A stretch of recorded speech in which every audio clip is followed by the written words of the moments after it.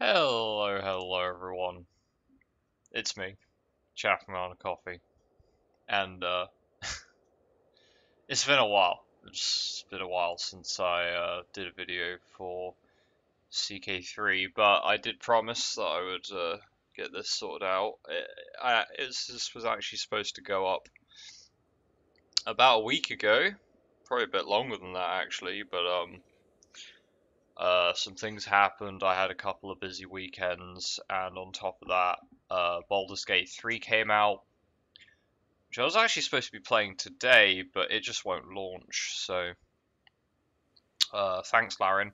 Anyway, um, I want to do this as a conclusion to the Bohemia World Conquest game for CK3. Um, it's been a while since I actually played it. It's been a couple of months now since I, I finished that run. And just thinking back on it, I'm going to try to summarize some of the good parts of the run, some of the bad parts of the run, some general tips for CK3 in general. And yeah, Ignore that it says Roman Empire. If you saw the last episode of the series, then you'll know that we did actually do this entirely without flipping into the Roman Empire. Not that I think the Roman Empire CB is particularly good. Um, yeah, so 1368 AD. We started out as a uh, the Slavic Slavianskan faith as a count of Hradec, right? So OPM count, vassal of Bohemia, who's on the border of the HRE, or well, East Francia anyway. 867 start, alright?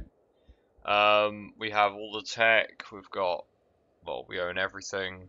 Took a while to conquer some places, but I thought we we might be a bit strapped for time by the end of this run, but it was really easy by the end of it. So let's talk about some of the. Uh, I never know which to do first. I always feel like if I start with the good stuff, then I'll just be it'll just be a non-stop tirade towards the end. But I suppose that's the important thing. So I'll start with the good stuff. Um, CK3 is very good for the first say 200, 300 years of the game um, when you're not really powerful.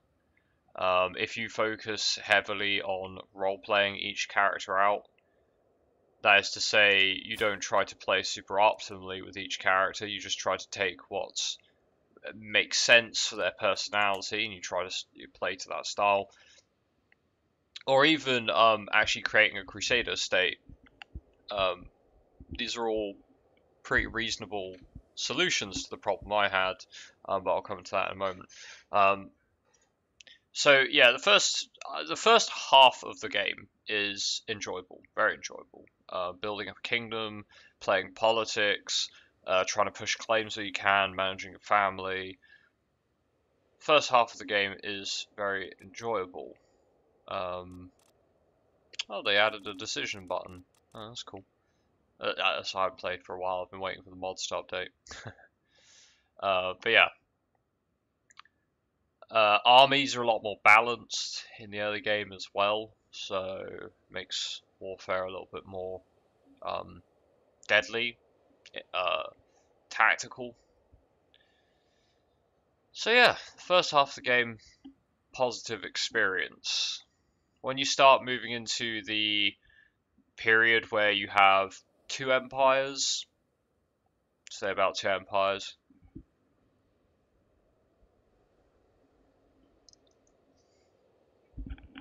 Under your um, or two empire titles like as your main crowns. That's when the game starts to lose meaning. Um, and it becomes a classic paradox map painting fest. And the easiest way to showcase this, I mean, many of you will have already seen it in the previous, uh, well, in the run itself. But I will showcase some of the things that completely trivialize the game. I know everybody's seen those videos about OMG, insert smiley emoji, Crusader Kings 3 is totally broken, golden obligations, it's the most powerful thing ever, blah blah blah. That that's a load of clickbaity shit. Um, if you're actually interested in playing Paradox games, um, you'll know that that kind of stuff is is that's like tip of the iceberg, right? The most powerful stuff in CK3, for those of you that are curious, um, it's pretty simple, really. We go into military here. Um, we click this little banner down here. You can have multiple rally points. Um, you rally your troops, right? So if I put a rally flag down here in Hertfordshire, um, I can raise all my troops. So I click raise all. It raises all of my men at arms and my knights and my siege weapons immediately, and they start rallying. Now, it's going to take um, 137 days to gather up my 32,000 levy, right? It's going to take, a, you know, four months, um, five, almost five months to gather up all the troops to go and fight someone. Is way too long, way too long So all you have to do is hold control and right click. Alright, that stops the gathering. Now, I at first didn't know that trick. I had to use the split off new army. You just move everyone into the next army. Uh, I picked up the trick pretty quickly after that. Um, but regardless, that, that now gives you full control of these guys. Now, these guys, I'm not doing a North Korea strat. I have all the vassals, you know, and I've had them the entire game. We played we played this run as Paradox intended, right? I don't even have my full domain limit with all the tech. I just have nine domain holdings. I've got these holdings over here. I took Rome as well for the for some, you know, because Rome's got bonuses. But I had eight holdings, right? I had eight holdings for the majority of the game, or not even that, even six. Um, most of them are baronies, which are basically small castles, and just by utilizing the, um, the blacksmiths you know, I've got about how many of those? Six of them. I've got some um, barracks training grounds. Got the blacksmith guild. Um, these units, even with just what's intended, have 105 attack value and 78 toughness. The pikemen especially have 92 attack and 87 toughness with good terrain effects. Not that terrain matters when your numbers are these inflated they have it. Uh, these guys, if you watch the final video of the, well, the final video aside from this one, of the run, they just, they melt everything. You always have like a 20, 20 plus martial commander because you're a really big empire and somebody's going to have 20 martial. Um, but uh, your armies will just, they'll walk over people, right? So this this this army of 12k can it was slapping 60,000 Abbasid troops with, without breaking a sweat. Um, lose maybe 2,000 men and 1,500 of them replenish after the fight anyway. So how is that OP? That's that's clearly that's clearly how the game intended, right? I mean, I haven't. These numbers don't look different from my actual run, which means they haven't patched them. So this is clearly the intended late game numbers of troops. So why is this OP? Well, it's OP for a few reasons, right? So I disband the troops, right? Now when I raise new troops, they take four months to gather because of the levy. I hold control, I right click, the army is moving, alright? Let's uh, let's go and put this flag over in India and uh, raise the troops. So as you can see, I can just teleport 12,000 men across the map. So basically, distance doesn't matter. You will have noticed me doing this as we played in the later stages of the campaign. I would literally just go, oh, we're going to go fight this nation up in Russia. Bam, slap the flag down, raise the troops, go and fight them. Right, they're all dead, disband the army. Then I'm going to go and move this over here. I'm going to go fight some Mongol Mongolian nations next raise the troops over here, move them around, fight them. Oh, we had a rebellion with all our lords. Don't worry about that. I'll just bring that flag over here into England. We'll fast siege a bunch of places in England. you get the picture. It's it's freaking overpowered, right? It's it's stupid. It's stupid, but it's optimal, right? And this is probably the most broken thing about CK3 is the ability to. Uh, and you know, if if I was to say, oh, well, scaling the unit stats is the most broken thing because you can't use your men at arms in a in a way where you teleport them and just ignore your enemy. Well, you don't ignore your enemy's armies, but they you know that they can't beat you because the stats are so inflated from these buildings. Well, yes, but this is clearly intended, right? The the build the, the strength of the units is clearly intended because they haven't they haven't scaled back the numbers. And it's not like I'm cheesing. I'm not cheesing the game. Like this is this is absolutely just how they expect you to play CK3, right?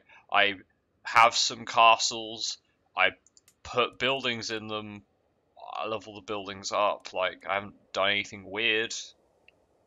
I have the tech, but it's not like any of the tech is particularly, like, special or overpowered, it's just what it is. So, totally intended army stats, uh, which means later in the game, they just walk all over the AI. Um, and I would, I will, I will want to talk about the AI in general, um, because honestly, I, I, I get it.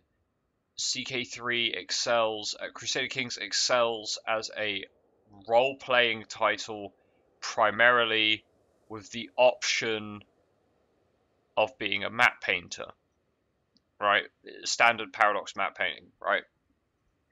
Now, I personally love map painting, so you must excuse me for that is my my chosen focus whenever I play games like this. It is uh, stacking modifiers, breaking game mechanics, and map painting. But that's what I enjoy. So, for those of you that like to do this as well, I thought I'd try and give you some tips. Um, and yeah, first biggest major thing is as you get later into the game, teleporting a stack of unkillable men at arms around can win you each and every single war at practically no effort or cost to yourself. And yeah. The second most broken thing is the fact that if I take a look at um, any vassal in my court, as you can see, I have no crown authority. That that is intentional for the direct vassal opinion. Uh, let's look at any of these bosses. King King Jan of Hellas.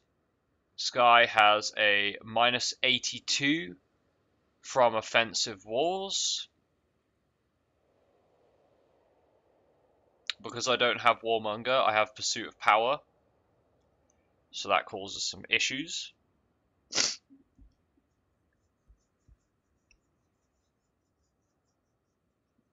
but I also have uh, minus 50, you can see down there, minus 50 from Broke Truce, right? Now, in the final episode, you will have seen me just continuously truce break um, the last couple of AI nations, mostly because I couldn't be bothered to wait. I could have waited, and I still would have been able to do it in the uh, time limit that the game provides you, but I, I just couldn't be bothered to wait. So you can truce break, right? There's no stability in CK3. There's just vassal opinion. That's it.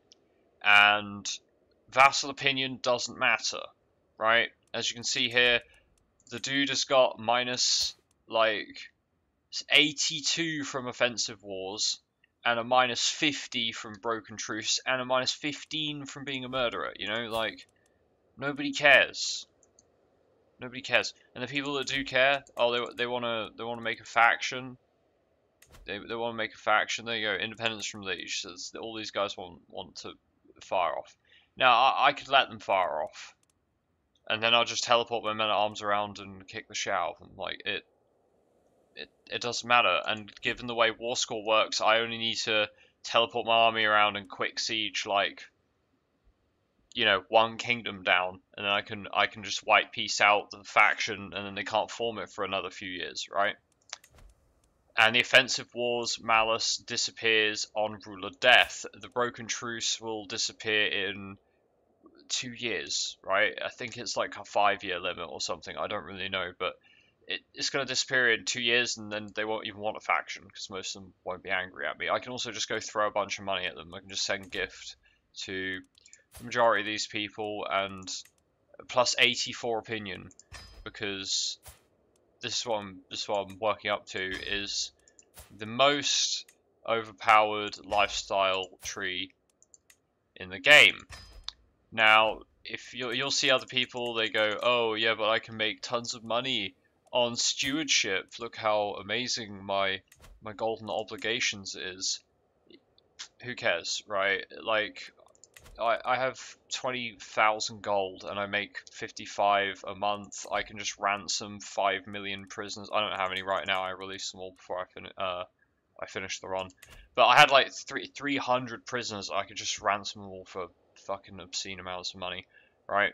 It's... Stewardship is useful for the early game when you don't have much cash, right? That's the only thing it's good for.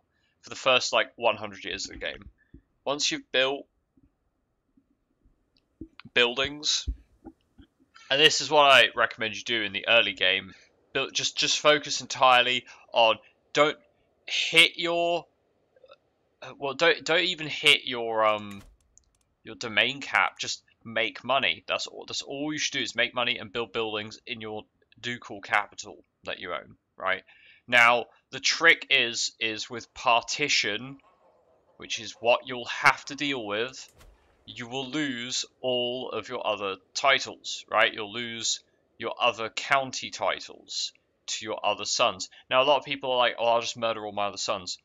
Don't bother. There's no point. The more land your dynasty owns, the better, because they can make for useful allies when expanding, as long as they're a title lower than you, even if they're not as high or lower than you it's still pretty handy to have them around. The best thing to do, now obviously it is nice if you can just engineer a situation where you don't have any heirs, um, except one, um, who will get everything. That That is very helpful, yep, don't get me wrong.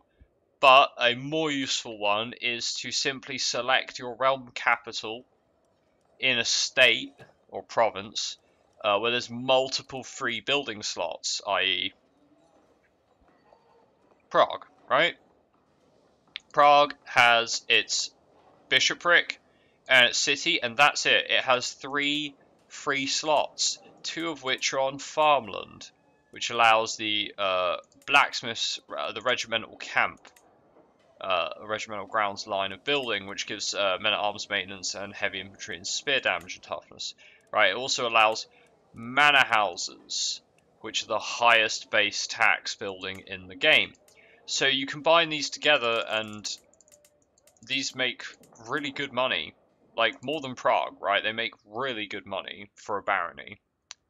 Now, how does this work? Well, when you partition, you pass out equivalent titles to all of your heirs, with the main titles going to your primary heir baronies that you control inside of the county or the realm capital, right? So this is a county capital. If I move the realm capital here, um, yeah, sure.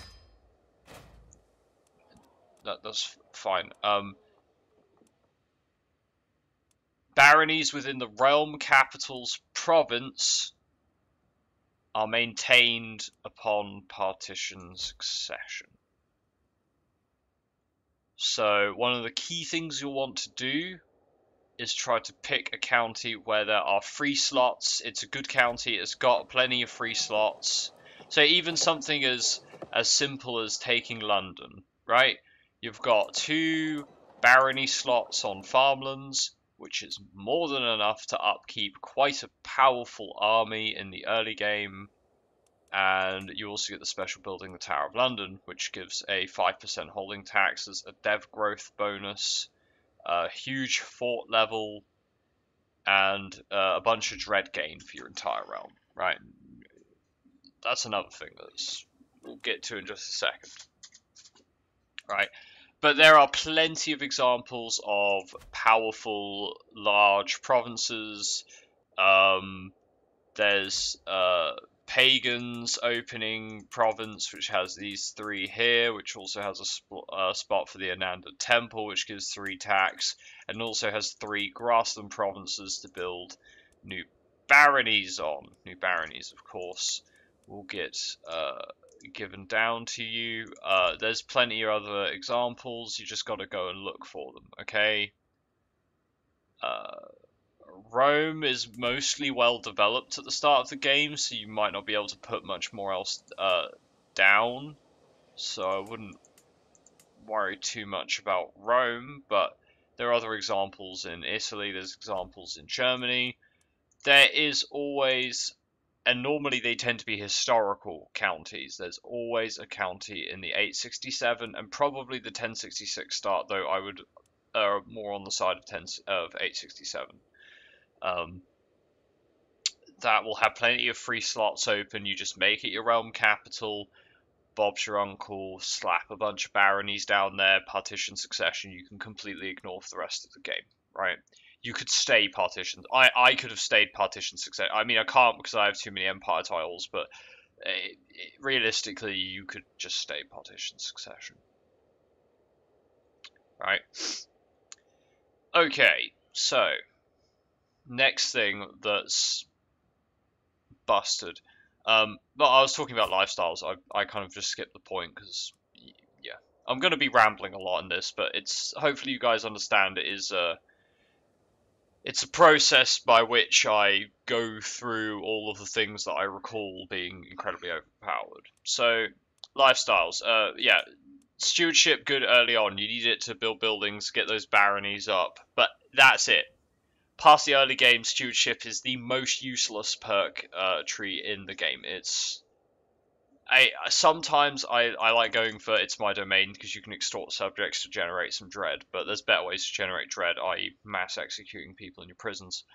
Um, intrigue. Intrigue is um, the basement dweller lifestyle tree. It's it's for players that want to sleep with their sisters or they want to uh, throw their rivals in jail after they kidnap them from some far off kingdom.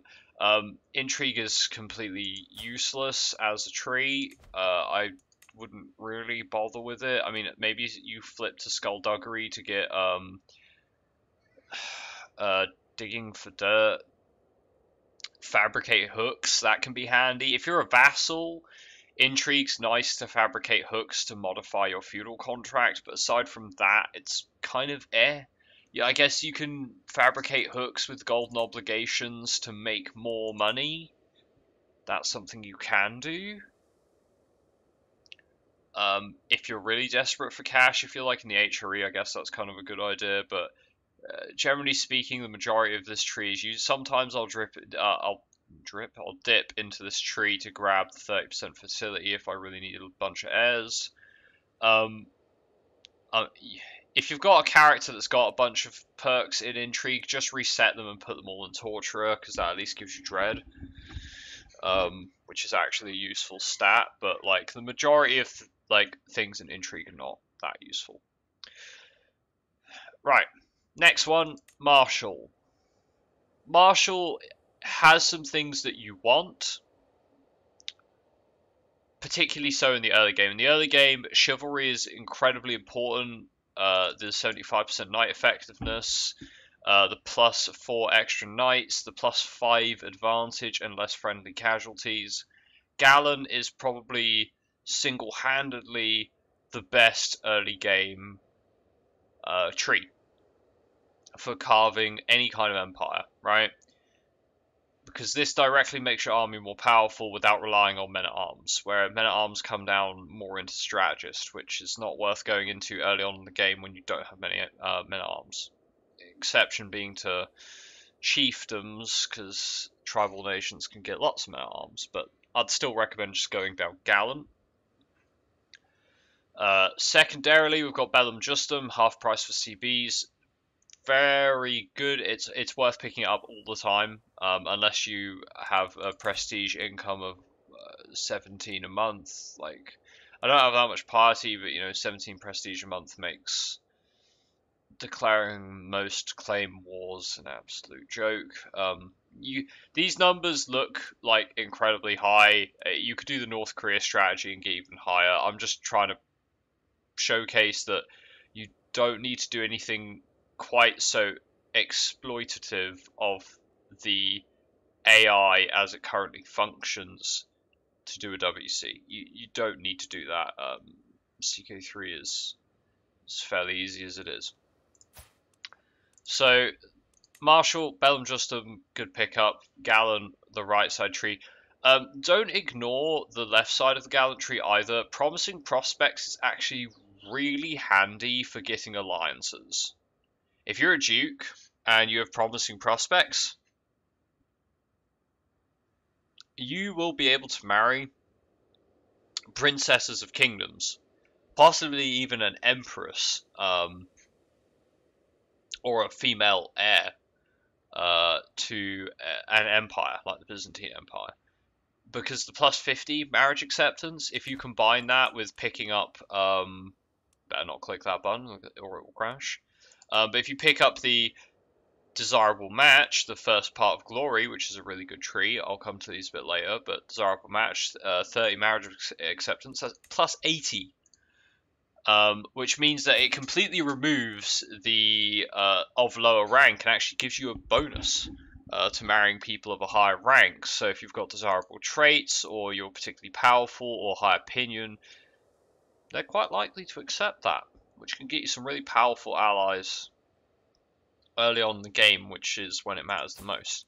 So don't discount um, the promising prospects. It's not the most useful perk, but it has its niche uses that does make it like you know I might as well mention it. Um, all right, finally you've got serve the crown, natural dread, control growth. Now the control growth is a flat value, not a percentage, which is why this one is so important. Um, serve the crown is basically uh, it does the purpose of telling your marshal uh, to increase control. It, it, basically has the same purpose, um, except it does it passively. So that is an incredibly good perk. If you're conquering any kind of significant amount of land, and you intend to keep it for yourself, at least until the death of your ruler, you need Serve the Crown. And the Natural Dread is helpful. Um, aside from that, there's not a huge amount of value in this tree, if I'm being perfectly honest. Sorry, I'm a little bit drowsy today. Um, so yeah, not a huge amount. I mean, even in Strategist, there's not. I'm not that excited by Strategist. I guess the extra movement speed with Organized March it also gives extra screen value, but who cares about screen value? That's if you're running away. So you don't even want to consider it.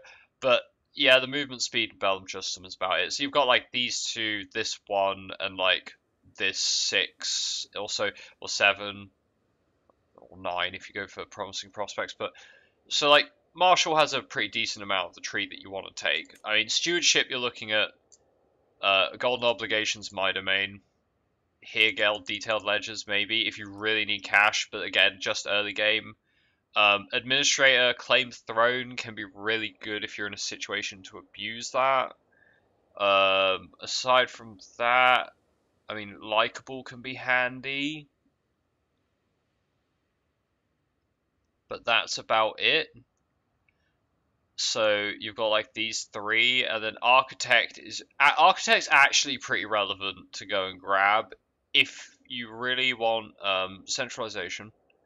It's a handy one. Uh, making buildings cheaper or just making more cash. Though this isn't actually that good for cash. This is much better for cash. Um, Taxman is okay because it gives collect taxes effectiveness, but really you want to go for these three. So not nearly as much investment. Um, it's kind of situational which one you go for, um, depending on what you're doing in your current playthrough of. Uh, Sorry, I've got a letter. Didn't realise I had. I'll open that later. Anyway, so uh, yeah, that's um, that's situ situational. Intrigue again. Intrigue's another sort of very situational one. Um, that you only really go down intrigue if you've got a very specific thing you have to do, and normally you can flip out of it pretty quickly. Um, next, I want to talk about learning. Learning's the next strongest thing. Um, a, lo- a lot of people go on about know thyself being really powerful. I'm not seeing it. Uh, yeah, it's handy that you know your death is one year away, but if you're going down medicine focus, chances are you're just trying to prolong your life to get something done. And either you get that thing done or you don't. And if you don't, then know thyself didn't help. And if you did, then know thyself wouldn't help. So, shrug. Uh, it's kind of handy if you want to abuse um, sending gifts to your heir because there's no cooldown on sending gifts to the uh, player heir there, so I can just send him as much gold as I want. And when he comes to power, he'll have a fucking huge amount of money, right? But I'm pretty sure they inherit some of it anyway, so what does it matter? But yeah, you can use that in conjunction with Know Thyself if you need to. Um, I mean, this is a really good perk, don't get me wrong. This is really good. And with the medium health boost here and the medium health boost here, your character will live till they're about 80 most of the time. Um, but uh, the medicine focus isn't that great. I think anatomical studies is handy. That's that's an okay one to pick up. Maybe the stress gain if you've got a character who has a perk that gives them more stress, uh, like um, I'm trying to remember. Uh, there's some. It's. I think it's like. Uh, oh god, I can't remember what it is. It's been a while since I played. But say say um, you are uh, just. I think one of these people was just or zealous, and you get faith from messing around with other religions and things uh, if you've got a trait that affect increases like, like just the assassinating people is going to cause you stress, it can be useful to take that perk to uh, mitigate that. But that's that's again that's a bit of a situational thing. So so far most of the perks have been situational or timed to a specific stage of the game. Uh, same goes for theologian. Uh, if you're going down uh, prophet uh, or just try to get more piety to reform the faith. That's again, that's a specific stage of the game kind of lifestyle perk that's only really useful for, well, that. Um, and then you've also got apostate, same deal. Useful for specific things. However,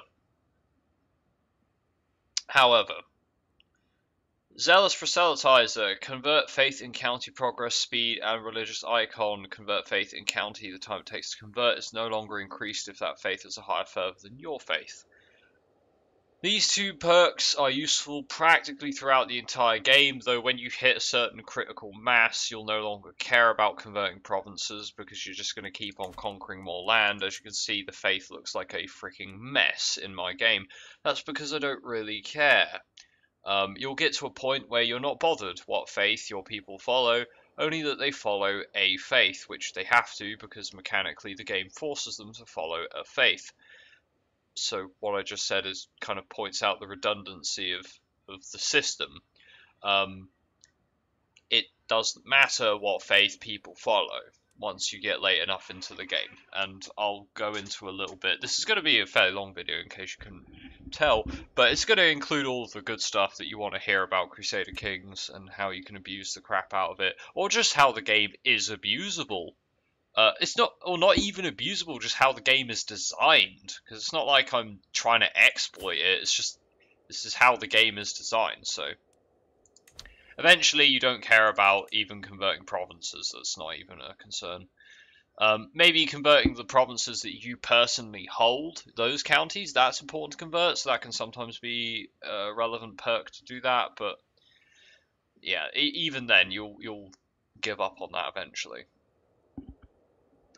Right, so we're moving on to the actual relevant perks throughout the entire game. Uh, yeah, I've gone through three and a half uh, perk trees and we haven't got to the relevant at all stages of the game one. What you should be realizing now is that the majority of perks in the game are niche and situational. You should be jumping in and out of different uh, groups all the time, depending on what you need at the time. Now, some of them are more relevant for a longer period of time, uh, avarice is a little bit more relevant for a longer period of the game. Intrigue is sort of this be can become useful at different stages. Martial kind of falls out unless you're crouching on Belemtristan or Surfeit Crown or something. So yeah, uh, learning will crop up a lot more in the early to mid game, depending on what you're trying to do in your particular um, run. Uh, particularly pedagogy, your wards can get additional skills and can become your friends, so it's an easy way to be to befriend your heirs and also to get them to acquire some extra skill points.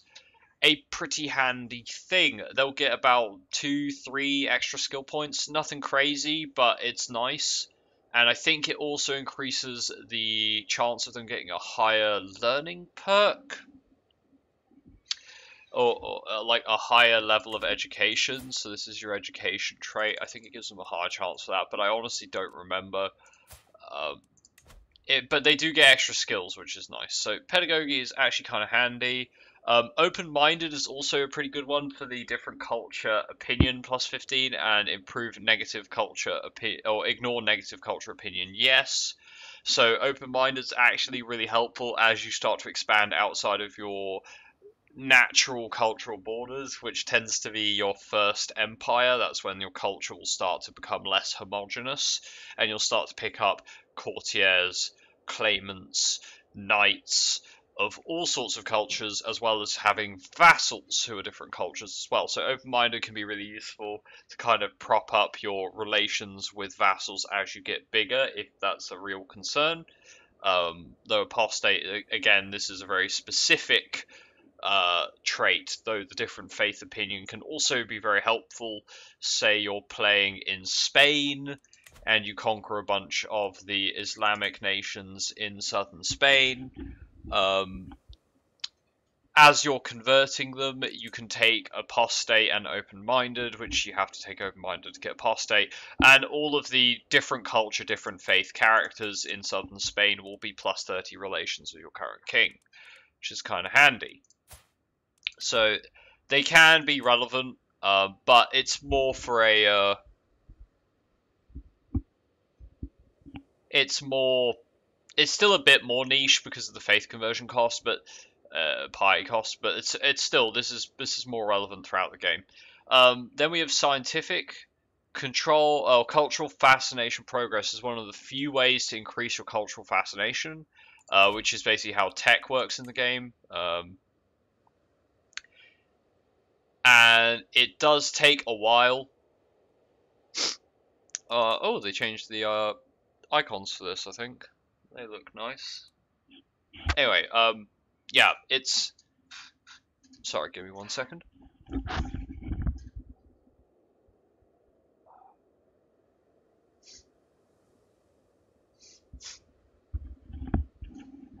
Ah, right back. Um, it's funny, I'm acting like this is a live video, but it's not. It's just me on uh, YouTube. Anyway, cultural fascination. Uh, that perk is about one of the only ways to get an increased speed of it, aside from deving, uh, getting more de uh, development in your counties of your culture. Um, but that's okay because you can always just flip out cultures as when you want. Um, though that that is a big one. It's a big one.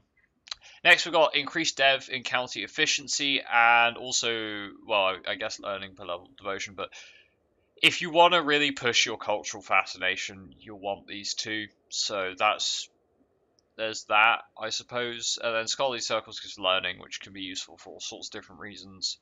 Um, 20% of counselors' primary skills are added to your own.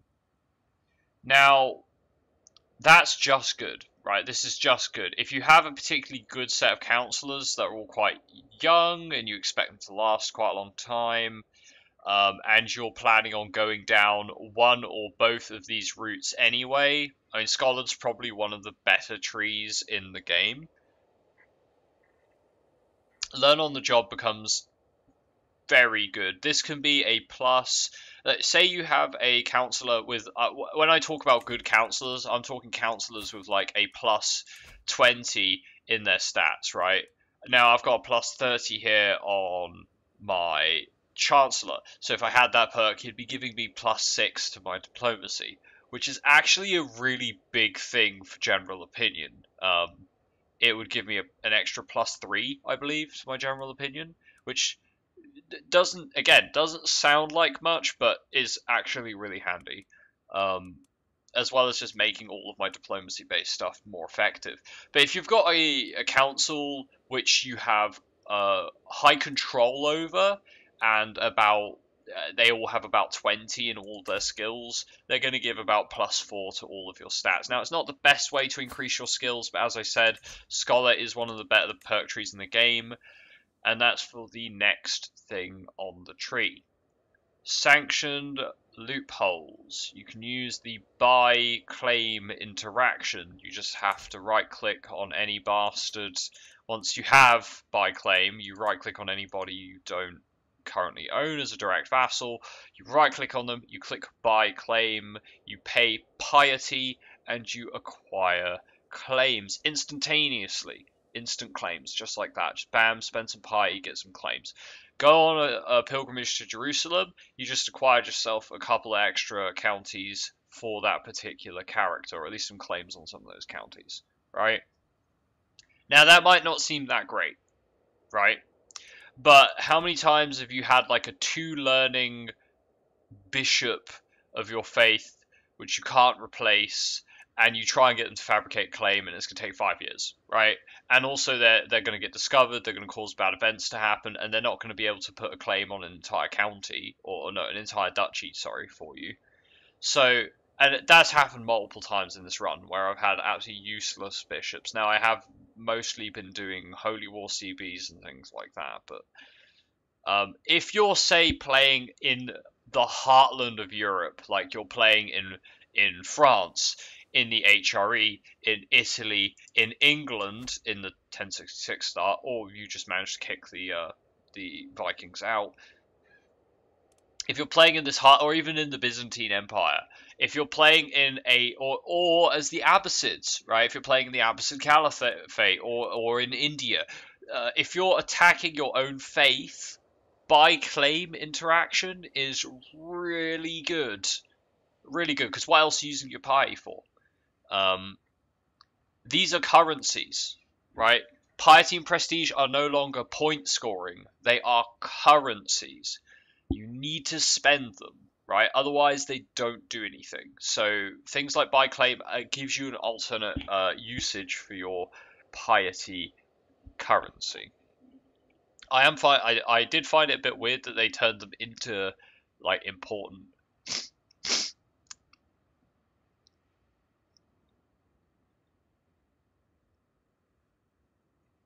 Sorry, I'm a bit sniffly today. A bit of a cold coming on, I think. Anyway.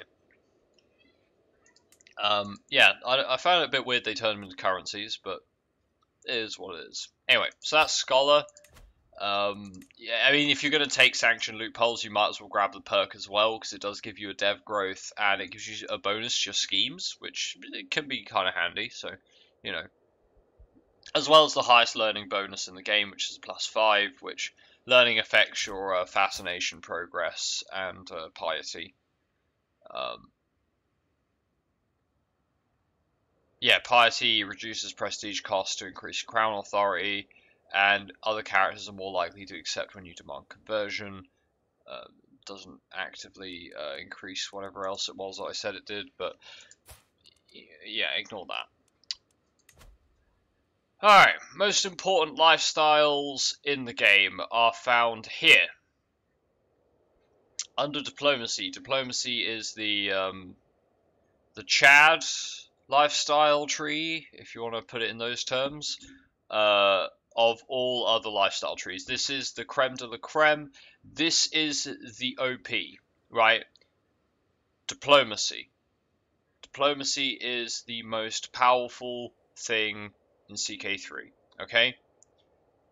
Let's start with the diplomacy. Let's let's start by looking at the perks, shall we? A little bit. So you get some piety. Yeah, you get some piety with learning. That's that's cool. Useful if you need it. Uh, intrigue if you want to do a bunch of schemes. Sure, but honestly, you just need a loyal spy master who's going to keep you safe, and then you don't need intrigue as a stat.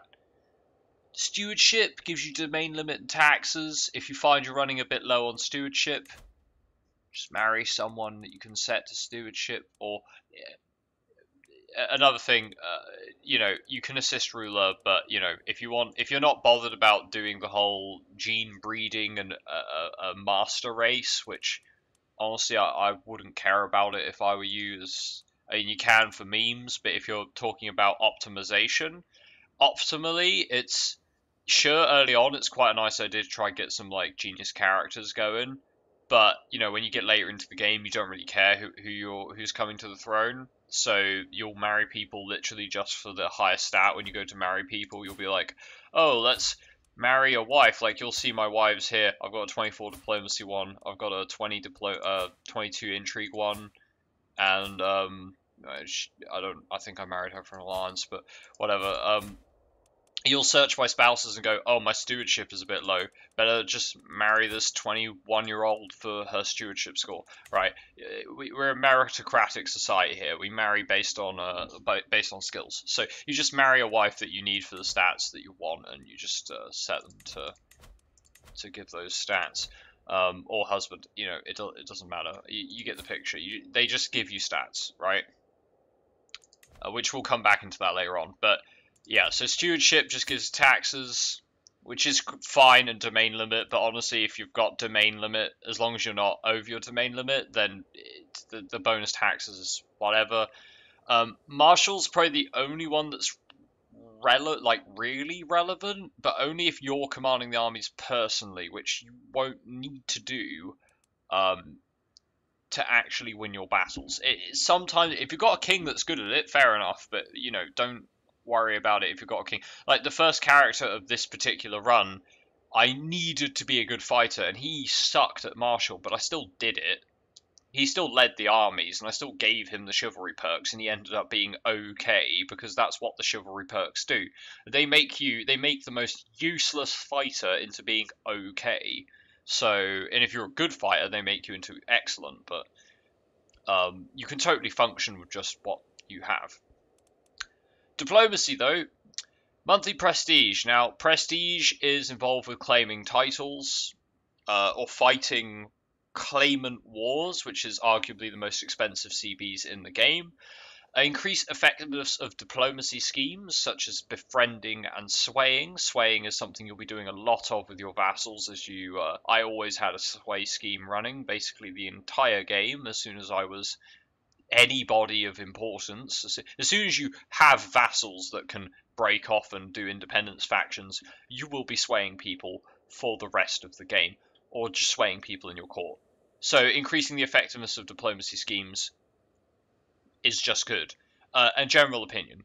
Now, general opinion matters more the earlier on in the game you are. When you get later into the game, you get like a massive plethora of extra buffs. I'll look at a vassal because it's slightly more um, relevant.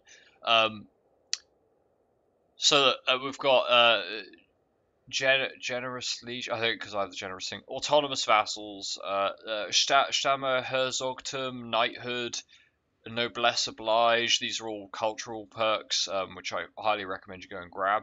Um, same dynasty, close bonds. Uh, I've got Pilgrim, living, living Legend from our Prestige, which is easy to get. Uh, plus personal diplomacy of plus 8. I only have like 16 diplomacy. I could pump that number up to 30 without even thinking about it. Um, righteousness, you know, like there's there's a bunch of things that boost opinion, and I could check any of my vassals, and it would be it would be the same story, right? But early on in the game, you don't have all those modifiers. You don't have the um, the mass of uh, cultural modifiers like um, uh, where is it? It's in the High Medieval. A seigneurialism. No, it's not. Is that is that it? No, it's not that one. It's um. Peerage, peerage, right? Yeah, it, cultures in Francia, direct vassal opinion. Uh, peerage, stemma herzogtum, uh, which is going to give extra direct vassal opinion.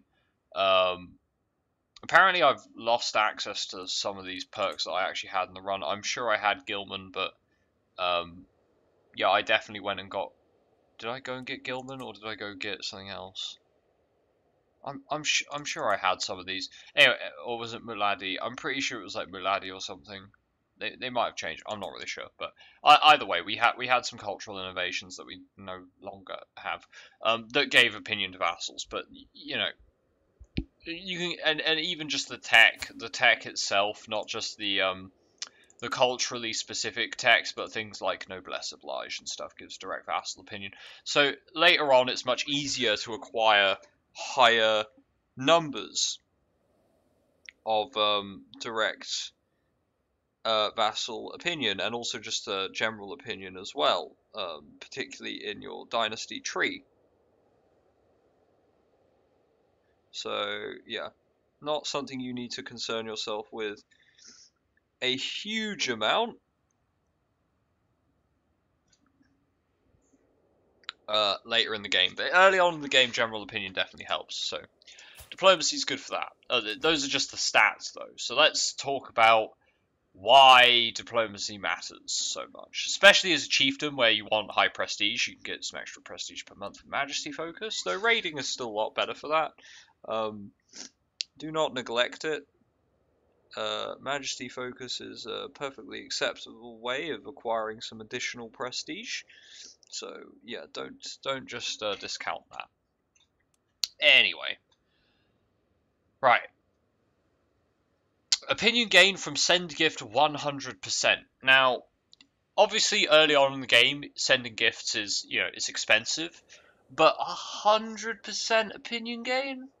Now, say someone is a is greedy. They have the trait greedy. Um, or yeah, the, the the you know the trait. I don't know if that's the appropriate term for them. Personality trait, yeah, yeah. So if if they have greedy, they'll get a massive increase to opinion if you send them a gift. What about if that opinion was plus 100%? Well, that's why I'm able to go to uh, vassals in my realm, like this guy. Uh, this guy is, you know, he's not greedy or anything. He's gluttonous. Maybe that helps. Um, but I can, um, he's got minus 100 opinion. I can send him a gift. And he'll increase his opinion by 97 bam, he's now more or less loyal, right? He's not loyal, but you get the opinion. Like, I can go up to these, like, incredibly disloyal characters and, and get them, you know, more or less on side, you know? And it cost me a little bit of gold. Like, this guy's at minus 12. Bam! He's now incredibly loyal. Uh, this guy is 22. Uh, 115 opinion. Bam! Man is now my best friend, right? The diplomacy perk, thoughtful, is really, really good, right? Once you've got a lot of cash under your belt, you can ransom prisoners for a ton of gold because you're an empire. Uh, uh, you're an emperor, and it is based on rank. So if I'm an emperor and I capture another emperor, it's worth more than if I'm a count and I capture an emperor. Uh, it, might be to do with your prestige rank. I don't know, but either way, uh, you can make tons of money out of ransoming people. So making cash, and also if you follow the tactic of building your starting the game and just focusing on building up a power base to avoid partition succession. So you have a large power base of baronies that make you a good amount of gold. Then it's you can send gifts and you can use those to acquire um, alliances if you go down another perk in the diplomacy tree that I'll talk about in a moment, uh, or marriages, um, also very handy uh, or just getting people to join wars that otherwise they wouldn't, uh, or you know, uh, leaving factions. Those are the main ones. So thoughtful, incredibly powerful. Uh, Ducal Conquest title creation cost goes down, which is can be handy, but you're also able to use Ducal Conquest CB. So rather than using the Conquest CB, which costs you flat prestige to declare war for neighboring territory, you do have to unlock this um, you can now do ducal conquest, which allows you to declare war for an entire duchy. Now, it does cost a lot of prestige, but if you can't get any other way of getting a claim, and or you can't be bothered to wait for your crappy two learning bishop to create uh, county claims and push them, you can grab this perk and get yourself a nice ducal conquest. Um, but that's not really the best thing about this. The best thing about it is forced vassalization, which allows you to declare war and force vassalize anyone of a lower rank on your border. Which, as an emperor, allows you to force vassalize just about everyone in the game. And you might be thinking, but I don't get the land for myself. Well, at some point in the game, you already have all the land you want, which means that this just lets you put more people in your empire, and they can just suck it up, I guess. Uh, so yeah, forced vassalage is the probably the most powerful CB in the game, bar maybe Mongolian conquest, um, or Horde conquest, whatever it is.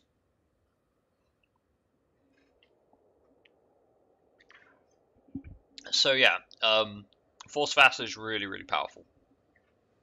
Right, next we have Adaptive Traditions, Foreign Affairs Effectiveness. This is for gaining um, sort of passive prestige gain with your Chancellor.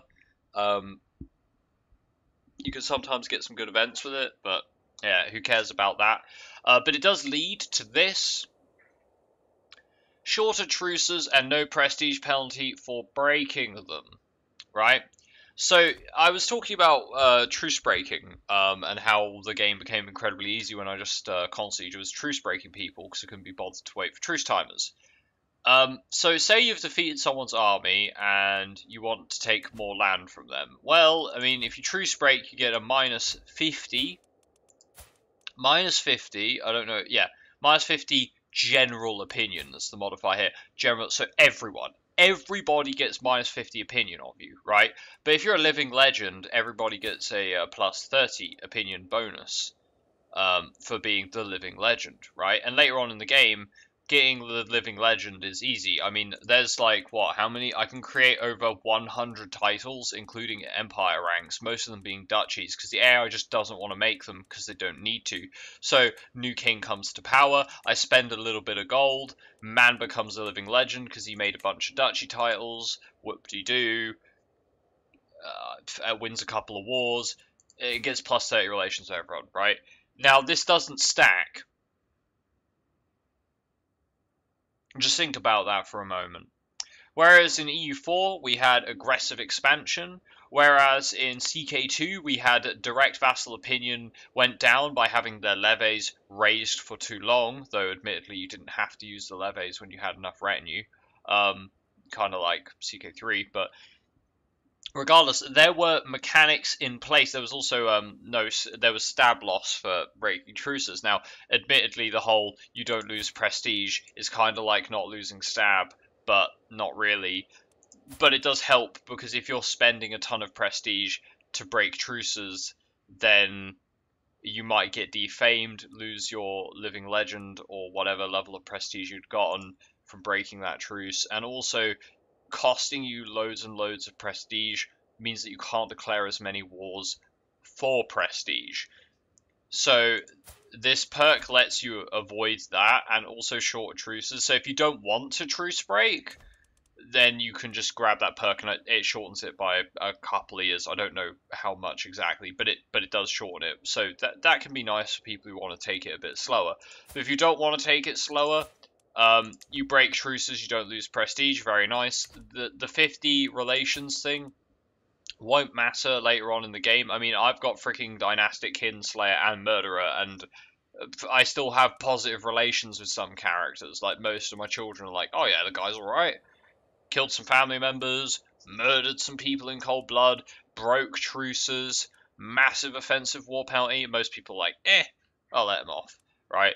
So it's he hasn't even got any dread right now. I could have went and got some dread by executing a bunch of people, but as I said, I finished the run and I kind of released everyone from jail.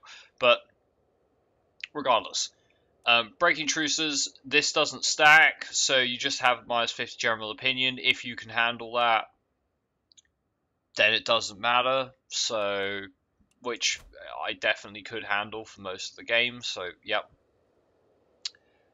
Very nice perk. Moving on, defensive negotiations. Fellow vassal opinion, independent ruler opinion, and can propose one alliance without a marriage. This perk is situational but can be very good. Um, if you are a vassal, say, of the HRE, or you're a um, vassal in France or Italy or England or any large empire, the Byzantines, etc., etc., this gets a lot better because you get the extra opinion with fellow vassals. Um, but also, you've got the uh, proposed alliance. Now, you can sometimes get some good allies out of it. Normally, you won't if you're going down the diplomacy tree, you're probably, I mean, you have thoughtful, so you can send a gift, you can sway someone, you get plus 100 relations with them. Maybe you can get defensive negotiations to get a, a really nice alliance out of it uh, without doing a marriage. It's possible, but it's not guaranteed. The opinion bonus is nice. This is this is situational most time. This is pretty situational, but it can be handy. Then you have embassies, which each alliance grants you plus one diplomacy. This becomes more powerful as you get later in the game when you have a much wider reaching dynasty because you'll have a lot of people, uh, especially your sons and heirs, that you can just give land and then they'll ally you basically off the bat.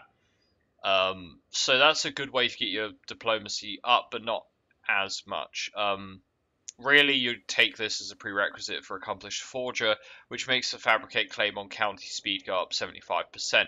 Now, this is more powerful if you have a high learning um, bishop or, or court dude who does faith affairs, um, because then they can uh, create claims on entire duchies.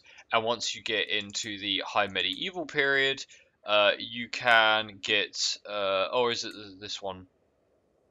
Yeah, Divine Right from the High Medieval period allows you to press several of your claims in a single war. Now, several of your claims means, say, I have fabricated a claim on uh, the Duchy of um, Mazovia. I've created a claim on the Duchy of Mazovia, and it's owned by the King of Poland. Say I also have um, a couple of of county claims. I have a couple of county claims here in Lesser Poland. I don't have a claim on the entire county, but I have or, the entire duchy. But I've got like these two as uh, county claims. I have Mazovia as a duchy claim, and I could have another county claim uh, up here in Prussia, right? I could push all of them at once. I could push all of those at once one button. It would cost you more prestige because it, it calculates adding all of them together as far as prestige is concerned. Um, but with if you combine uh, the accomplished forger with a high skill or the ability to select a high skill uh, priest or patriarch or whatever the title is for them, with uh, you know creating uh, claims on like a mass scale and you also take Bellum Justum. So again, Bellum Justum is a little bit of a dip perk, if you would. Uh, you can claim huge swaths of territory without the need for forced vassalization. Now, this becomes most relevant if you're attacking people of the same rank as you. So if you're an empire attacking another empire and you don't have Holy War CB, then that becomes relevant probably more useful in the 1066 star. In the 867 star, I found the AI was too incompetent to make their own empires, so mostly because of forced partition. Honestly, forced partition is actually unhealthy for the state of the AI and the game as a whole, but I'll cover that as uh, maybe at another time, but uh, maybe at the end of the video. Uh, but I'll come into the AI later on. Uh, right now, we're looking at like the, the the stuff that makes the run doable, and really, force vassalage is where it's at. But diplomacy in general is really powerful. Force vassalage, very very good. I do remember some stages in the game where I wanted defensive negotiations. Flexible truces is very powerful as you get later into the game. Force vassalage is more of that midpoint or early to midpoint where you've you've just claimed your first kingdom or empire title, and you're just starting to gobble up your neighbors. So force vassal is just good for that. Um, Forger is a bit more niche, but certainly down to here and here these five are absolutely a must. At some point in your game, you will be picking these multiple rulers in a row because that is just the best thing to do. Right, on to August. Now, August is a bit of an interesting one. Um, it increases your sway scheme power. You get monthly prestige from Dread and Knights, monthly prestige per powerful vassal, offer vassalization acceptance. Now, these aren't that important, right? These are not that great. Not gonna lie, these are these are pretty shit actually. Um, but offer vassalization acceptance can be incredibly powerful if you're an empire, but you don't own all of your empire. So, for example, if you uh, create the Roman Empire, you get a special CB to declare war on anyone bordering you who owns Roman provinces.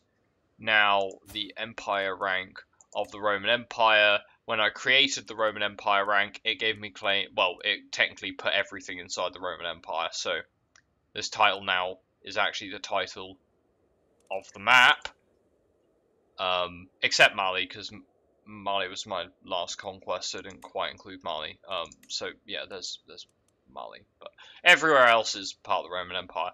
Um, but yeah, say you just about took everything required to form the Roman Empire, you didn't take more than that, and then you formed it, you would have additional uh, area in, in in the UK, in Germany, in uh, Eastern Europe, uh, possibly in the Middle East and in Iberia or North Africa as well, in Egypt especially, you would have more claims to push. Uh, and you could offer vassalization to some people uh, for free. Now, right at the start of the game, in the 867 start, if you start as the Byzantines, you can actually offer vassalization to quite a large majority of bordering counts and dukes in Sicily, Naples, uh, in Illyria, um, parts of the Middle East, uh, using the True Ruler uh, bonus and having a decent uh, diplomacy score. So August is useful mostly for True Ruler. Uh, there is the commission epics. This is kind of a whatever thing. It's it's fine. It's nothing special. Um, Level of fame impact is an interesting one because this is actually really good if you know that you can get living legend. So once you're at a stage of the game where you can just create enough titles to become a living legend or fight a bunch of wars to become a living legend, you can guarantee you'll be able to do that within the first 10 years of your character's rule. Then it doubles the effects of being a living legend, which is a plus 60 secular opinion. Now, the number of knights at that point won't matter, but plus 60 secular opinion, that negates truce breaking, which is obviously very OP. Um, so, yeah, a life of glory is is actually kind of handy. And secular opinion is literally all non-temple vassals or independent rulers. So it can also be useful and used in combination with things uh, like um, True Ruler. Obviously, uh, people outside of your realm are going to have a higher opinion of you because they have a plus 60 secular opinion. So a duke who is supposed to be part of your empire now gets a plus 25 offer vassalization acceptance, but also a plus 60 general opinion as opposed to a plus 30, which combined with a quick gift from Thoughtful might put them up to 100. Uh, you could even maybe get an alliance with them in the defensive negotiations, and then that would increase their uh, offer vassalization chance. And some of the dukes actually get really big, so that could acquire you a large chunk of territory as long as it's somewhat de jure in your empire. Right. Then you get Dignitas, which gives diplomacy per level of fame. Uh, whatever. If you if you really want to go for August, then you can. But I think it basically stops at this is the, the this is the weakest of the diplomacy tree, and it still has some uses. More niche, but it, it has got its place.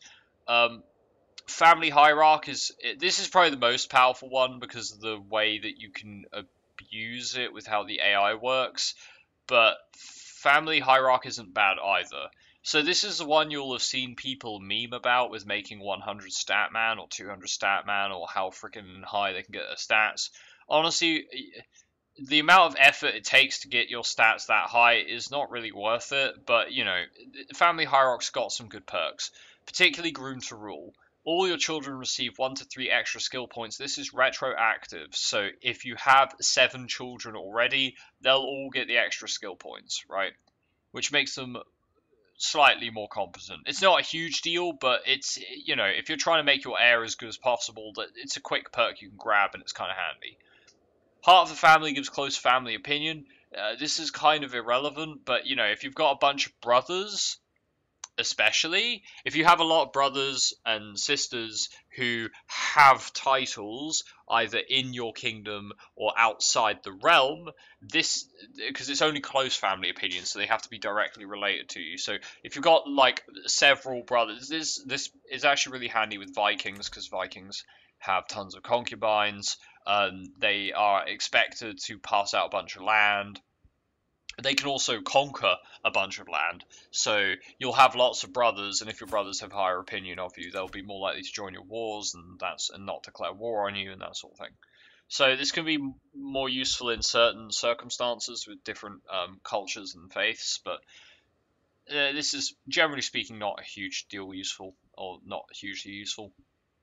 Personal scheme success chance against family members also uh, not that relevant. Um, but we do have befriend. Now the befriend scheme is very good.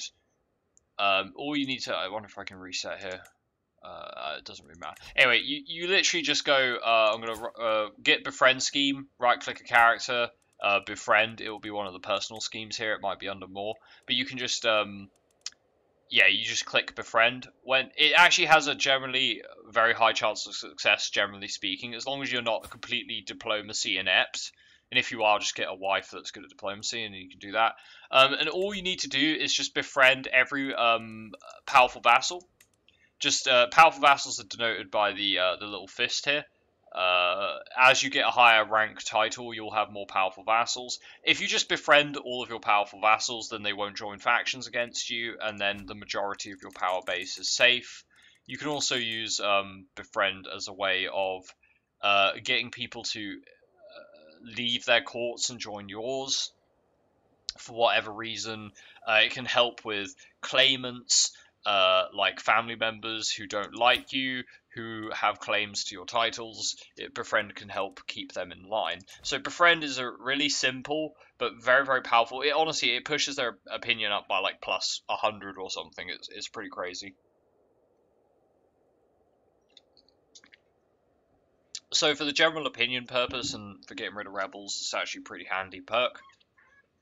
Um, each friend adds 5% stress gain, so if you're going to bother getting a bunch of friends, uh, this means that you lose less, uh, you, you gain less stress from doing actions that would stress you out, which can make certain options in events and, you know, general dialogue uh, a lot more appealing. Um, and also say you have a honest character and you want to do lots of intrigue, uh, this can help them, uh, you know, manage their intrigue. So confidants can be useful. Flatterer gives you a befriend scheme power bonus, so if you really want to worry about getting tons of friends, uh, you probably want to get Flatterer. Um, that then leads to Friendly Counsel. Each of your friend relations gives you two random skill points. Now, if you combine this with, say, pedagogy, where your wards can become your friends, and then you just get friendly counsel and you start befriending all of your counselors, uh, counselors being um, the guys on your council, and your powerful vassals, uh, you can end up with easily incredibly high skill points. Now, they don't matter that much. As I said, the bonuses here aren't actually that huge. Um, I guess the biggest one would be intrigue, but even then, they're not, and also general opinion. But generally speaking, the bonuses here aren't like huge, so it's mostly for the mostly for the opinion modifier. But you know, if you're gonna have a bunch of friends anyway, say you did pick up pedagogy, you've got lots of heirs, and you've been uh, making sure you teach uh, a couple of them as often as possible. Then um, friendly counsel plus befriending all your vassals can be really uh, can be quite powerful. Uh, as a nice little icing on the cake kind of powerful as opposed to like you want to just focus entirely on this. And then sound foundations gives you an extra skill point for every living child you have which obviously in any kind of uh, concubine based i have more spouses. I mean this guy's got 10 children and he's 39 so he could easily pop out another 10 uh, it's 20 extra skill points so yeah, you know, yeah, it's it's fine, and then and then you might as well go for patriarch. Basically, if you ever get to the point where you can get the final perk, I mean, you might as well because they're normally pretty good. Um, they're not like insane, but they're normally pretty decent. But yeah, like family hierarchy is fine. You've got befriend, which is really powerful. Groom to rule, which is kind of like nice to always take. Aside from that, it's kind of if you really want to go into it, but the the the really most powerful stuff is here. Now, of course, of course, everything I've said take with a pinch of salt.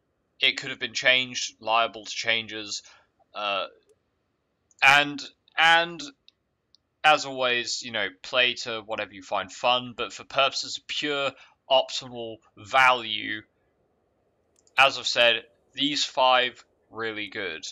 Niche, niche, really good, really good, but still also kind of niche. Uh, sort of early game there. Um, early game slash niche. Early game slash niche. Niche stuff. Uh, niche. Also niche. Also niche. Uh, niche Uh, uh, niche but more relevant more often, and again niche but more relevant more often. So like the only perks in the game which aren't like very situational are these ones, which will you'll find uses for across multiple characters regardless of what you're focusing them on. But for the like most of the time, the perks are sort of depends what's going on in your game. So what does that what does that mean? What does that mean? Well, Paradox has put all these very flashy um, perks at the bottom with like, oh, look at all these amazing powers that you're going to get. Um, most of the time, you'll go, cool, I'm going to go on a scholarship focus because I want to build up my dev and I want to grab um, pedagogy and I want to grab uh, planned cultivation because I want to keep, I want to get some of my uh, dev up. So I'm going to go scholarship focus, right? And then the second you've got all those perks, you'll go, Right, I'm planning on doing a couple of wars, so I'm going to flip into Martial. I'm going to go with a Chivalry focus, and then I'm going to grab Bellum Justum, and as soon as I get that, I'm going to start the war. Then I'm going to grab um, a Stalwart Leader uh, during the war, or slightly before I start the war, or whatever, and then I'm going to grab Serve the Crown for after I finish the war with all land. Uh, then I'm going to jump over to Stewardship, I'm going to grab Golden Obligations, I'm going to grab It's My Domain, I'm going to make more cash to try build up that land I just conquered. Then I'm going to flip into diplomacy right at the end and grab uh, benevolent intent to increase my sway power. I'm going to grab thoughtful just to get my uh, pesky vassals in line. So you you get the idea. Like depending on what you need to do is what you need to pick, right? Do not focus entirely on just going, oh, that looks like a good perk, I'll go for that. Or like somebody said that having loads of health is really good because my guy lasts longer. Well, yes, they do, but that doesn't necessarily mean that you should focus on it because living longer achieves nothing inherently. Inherently, just living till 80 but spending the, the extra 20 years that the character had just sat on his ass thinking, well, my kingdom looks pretty. Well, that's completely pointless, isn't it? So, you know, only do things if they have a point or a purpose. So, yeah, if you're going to take perks, you know, try to actually use them as opposed to just having them uh, though having more perks is never bad, it is good to have some kind of game plan with how you're going to use your perks. So yeah, some little hints and tips about, or at least at least my impressions of how perks work in CK3, but also like the good ones and the ones that helped me do a WC. I've now highlighted for you all. Wow, Jesus, this recording is going on for a long time. This this this recording probably will be quite long. I'm not going to split it up. You know, if people bothered to watch the World Conquest series and they're really that interested in, you know, figuring out my thought process or my opinions for some of the stuff that I used, then you're probably going to watch this. And I'm glad if you've made it this far already. It's it's an hour in, and uh, I have rambled quite a lot. But we've talked about some of the really OP stuff that definitely made the run easy, uh, too easy in some ways. Let's talk about why. The why. Now, I, I, I do like to go into the why. Why is it easy? What has allowed us to interact with the game the way that we have interacted with the game? And honestly, this is what this is something I've noticed in so many video games recently. But like you know, I've been playing Baldur's Gate 3 recently, um, but also just in video games in general. And and it makes me feel like I don't know, maybe they just don't hire people to to beta test games, or or their beta testers are just shit, right? Or or they or they give the they give beta testers. I don't want to just say beta testers are shit, but they give people the wrong direction of like how to test their games. They go, "Oh yeah, here's the game. Just have fun." That's that's literally not the point. You're supposed to crunch. You're supposed to crunch the crap out of it. You know, try to break it. You got to really push the limits of everything, and that's why I think CK3 has some serious balancing issues. Right? You know, the fact that I have a totally intentional. Right, I haven't glitched this number I have a completely intentional amount of holdings and a completely intentional amount of holding upgrades, right? And my army can absolutely evaporate anything the AI could throw at me at this stage of the game. I was fighting the Abbasids at the peak of their strength. The Abbasids owned almost all of the Middle East and Persia and and the Iran area, and they owned all the way up into the steppes. They and like you know a decent chunk like over here, like on the borders of Turkey, and, and even parts of uh, like the North Africa stretch up in Cyrenaica. The Abbasids were a powerhouse. They were pushing. I'm pretty sure they were pushing into India as well, but they were they were the biggest threat of the game and after one war with them, they didn't have any troops anymore. One war. Because they couldn't fight me. I'd fight 60,000 of their levy, and they would get obliterated. Why is that? Because levy are a 10-10 unit, right? My pikemen are 90-87.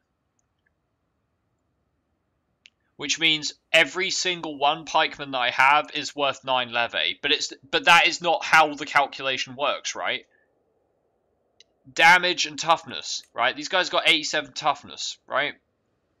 So when a levy attacks these guys, there's a much lower chance that they actually do anything, right?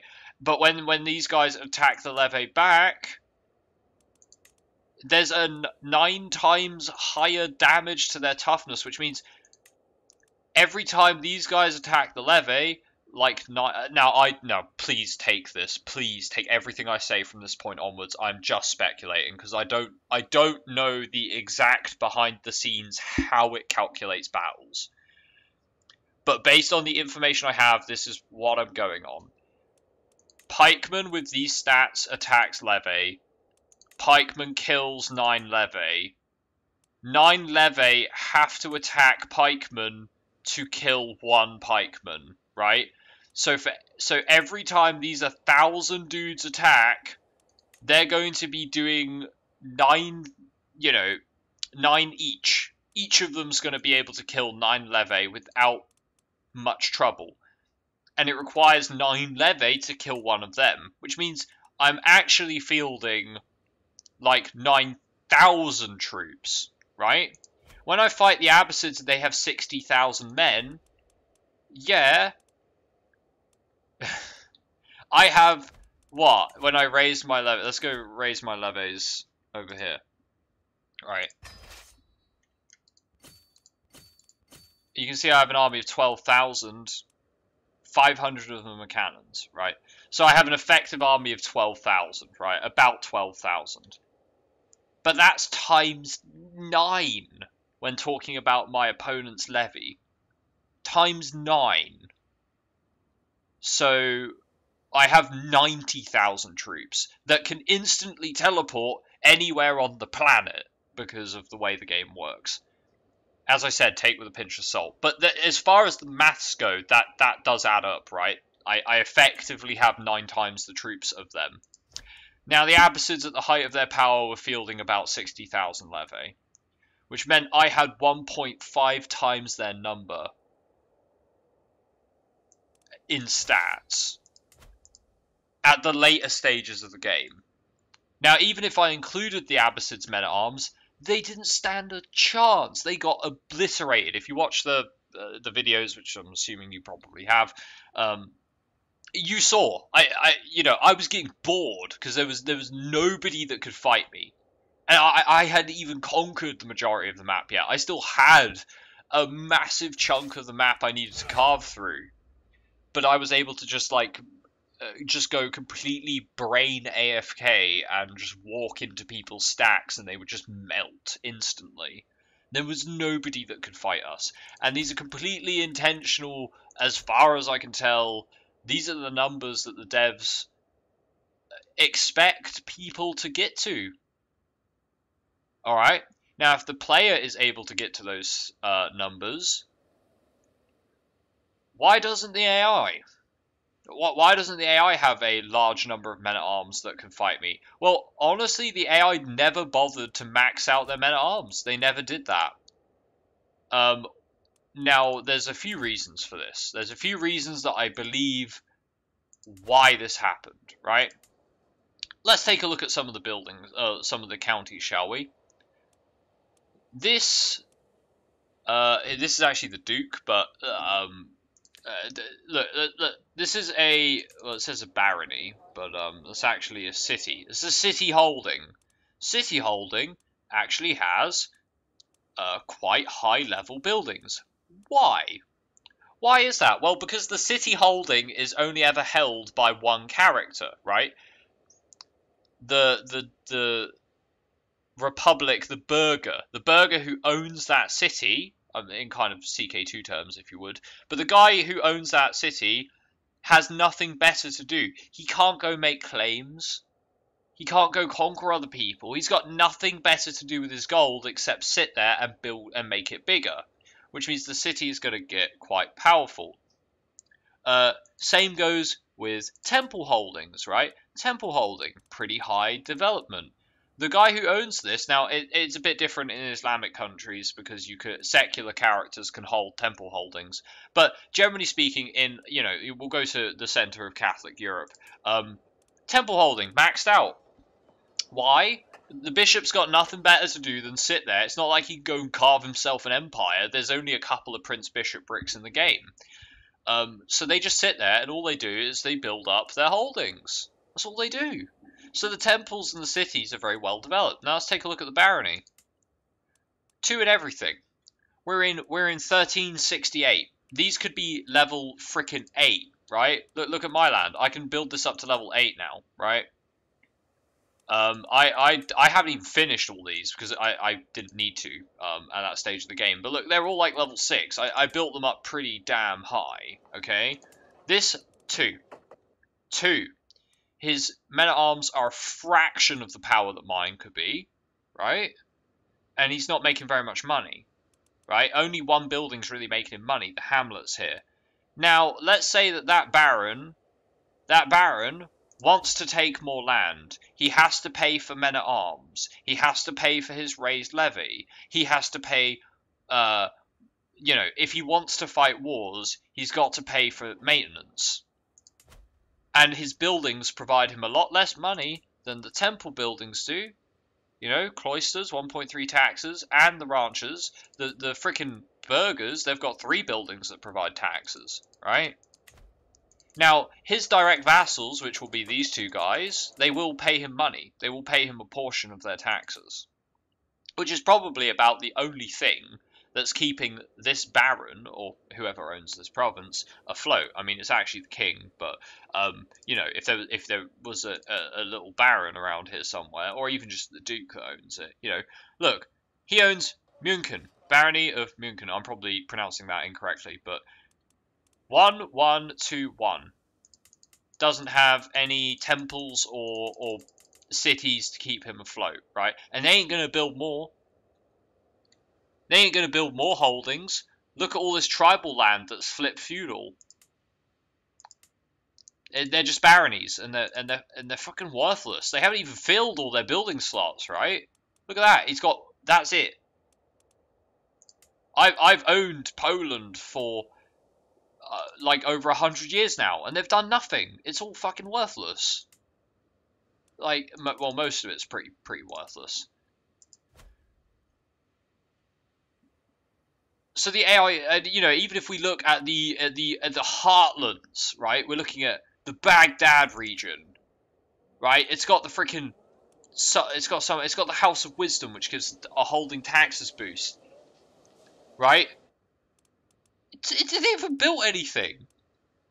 But if we look at Baghdad's temple, uh, Baghdad's temple's not worth that much, but the city, the city is all level six. They've been keeping up with tech. They've been building things. But the actual main barony, they haven't been doing it, you know. And it's it's uh, there are some places where it has been built up. Why?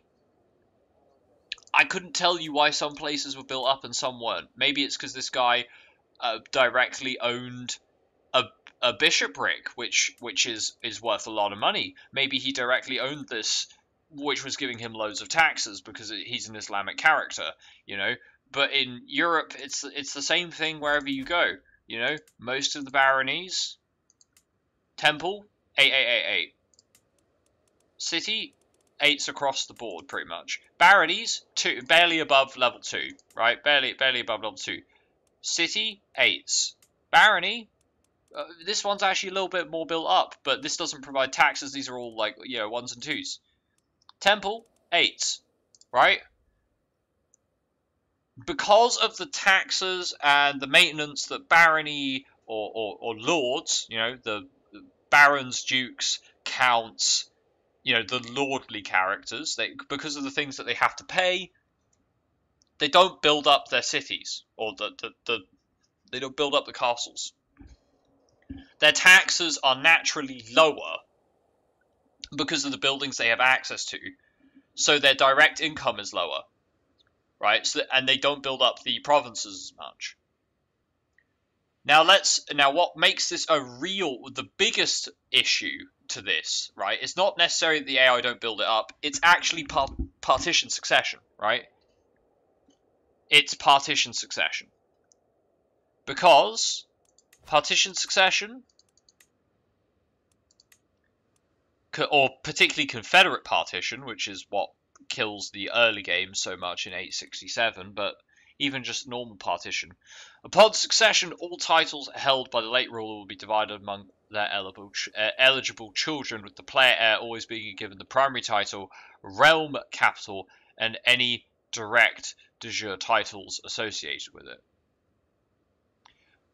As vassals. It should state that the direct de jure titles are as vassals.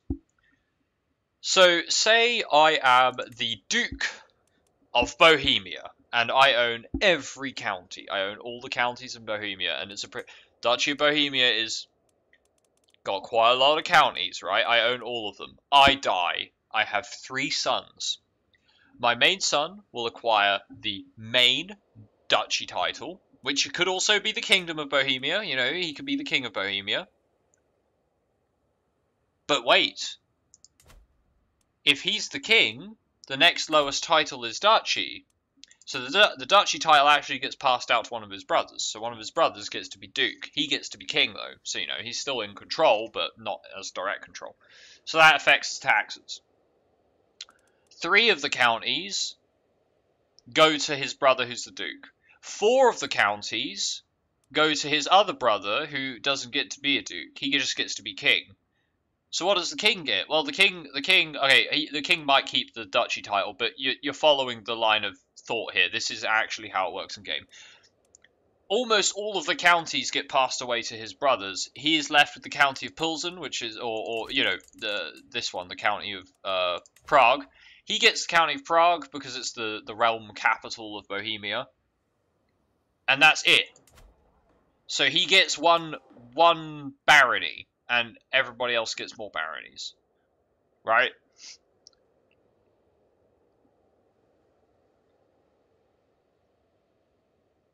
Now let's compound that.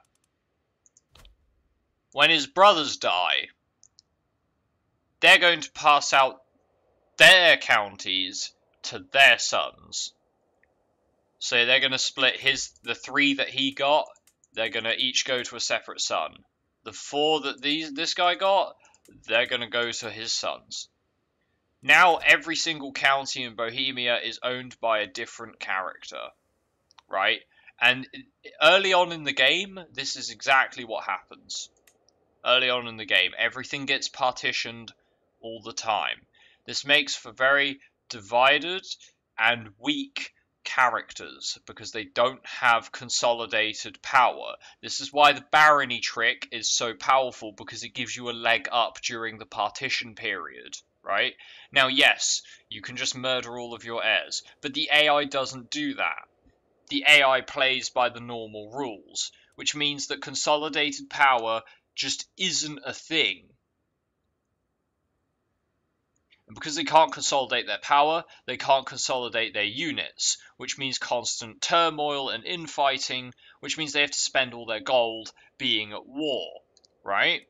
If they spend all their gold being at war, they can't build up their baronies. If they can't build up their baronies, they can't make more money, which then spirals into a continuous circle where the AI doesn't build up the baronies, they can't get better troops, they can't consolidate their power, their vassals don't, you know, the empire, the emperor will have one county one county and one duchy. He'll have the main duchy title, he'll have the realm capital, he'll have that kingdom title, and he'll have the empire title. Now, yes, everybody does pay him taxes, but I can tell you, to actually upkeep a men at arms unit like this, vassal taxes ain't gonna cut it. Look at that. I own all of the entire fucking world, and I get six. Six from direct vassals. Six. Do you, do you know how many kingdoms I own? Well, I mean, to, to be accurate, I own one single empire title, which means that all of the kings uh, will be direct vassals of this empire title. Uh, I don't know if the game's updated, so maybe it isn't re recalling it properly. But honestly, vassal taxes are a joke. They they are actually a they are a big meme. Okay, vassal taxes are a huge meme. Um, the kind of taxes that are not a meme is uh, church holdings. Church holdings make good money. Why? Well, because the people that own the churches actually bother to build them up, at least to some reasonable degree. So church holdings always make hella cash for the stage of the game that you're in. Okay? So church holdings are actually relevant, but look at that. Unraised men at arms, 38.6 maintenance for having unraised. If I raise them, you'll see that cost skyrocket. I'm now losing 27 gold. It triples, it more or less triples, whatever their maintenance is, okay? From being unraised. Now, even with highly developed nine provinces, I can't pay for these men-at-arms. Does that mean the men-at-arms are too expensive? No, the men at arms aren't too expensive. Men at arms having a professional army, and that's also not raising the 32,000 levy I have as well, because they would also cost me cash. But men at arms should be expensive. You should have to build up a war chest. I appreciate that that um, aspect of the game. You should have a war chest. You should have an economy to finance a proper army. But an, economy requires you know buildings that's what represents economy in this game is built i mean development does as well but you know holding taxes require buildings to levy those taxes and the ai just don't they don't build up the baronies which are the main source of income for the the warrior caste you know the temples the, the priests ain't going to go out and fight. I mean, yes, in some faiths that they do. So, you know, again, take most of what I say with a pinch of salt. But, you know, the priests aren't the ones giving you levies. You know, if I if I look at the feudal contract of of the king here, uh, of of uh, Albalanque, and I um, it, it, might be because of his faith I can't change his feudal contract. I don't really know. Anyway, um, modify feudal contract. Uh, so th this guy's he's only paying me what current obligation level 1.2% of his levies and 0.5% of his taxes. He's a king. He pays me no taxes. Taxable income of 5.7. 2.7 from his domain. 2.7.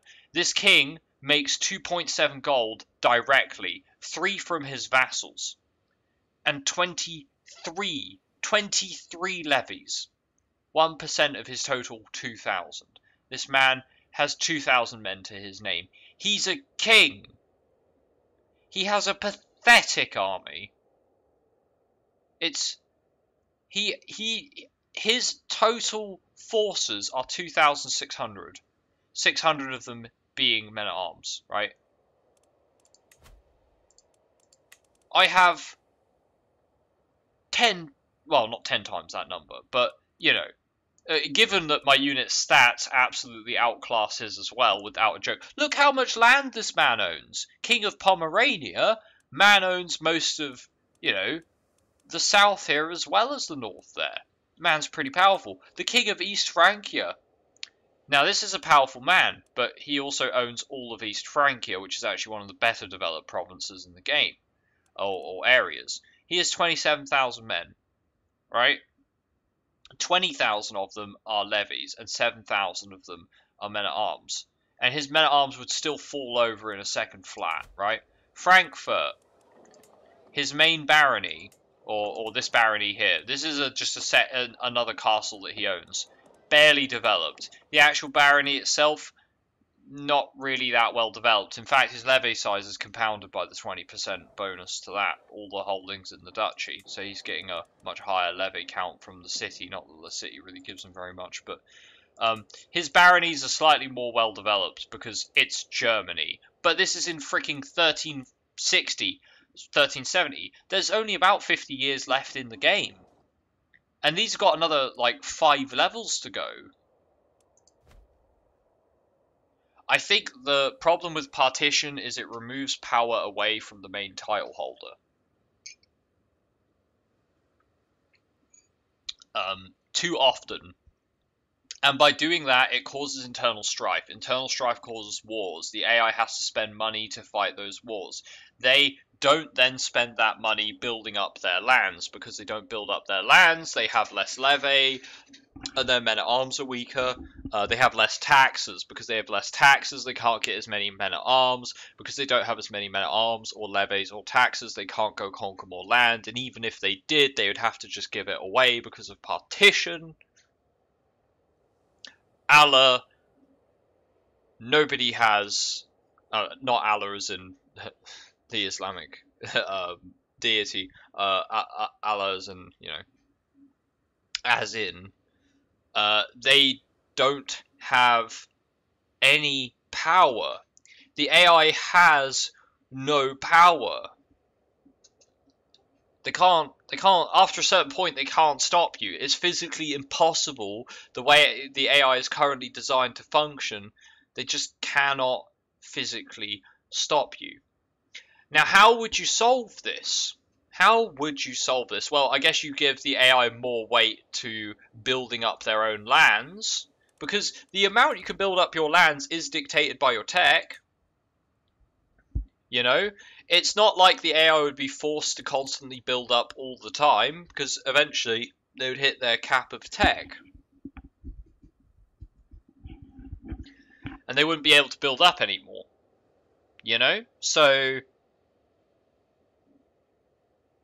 they wouldn't be stuck building things all the time.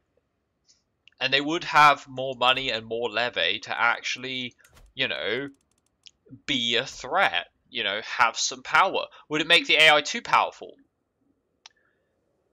Maybe, but probably not. I mean, the AI is still the AI, the player is still the player.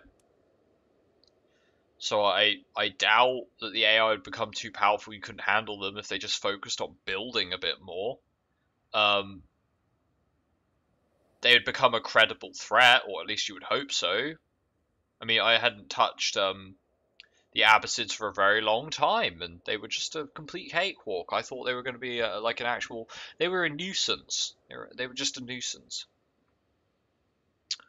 Um, so yeah, that's one of the big whys. Why is a why is a world conquest achievable, and why is Paradox's AI still so shit?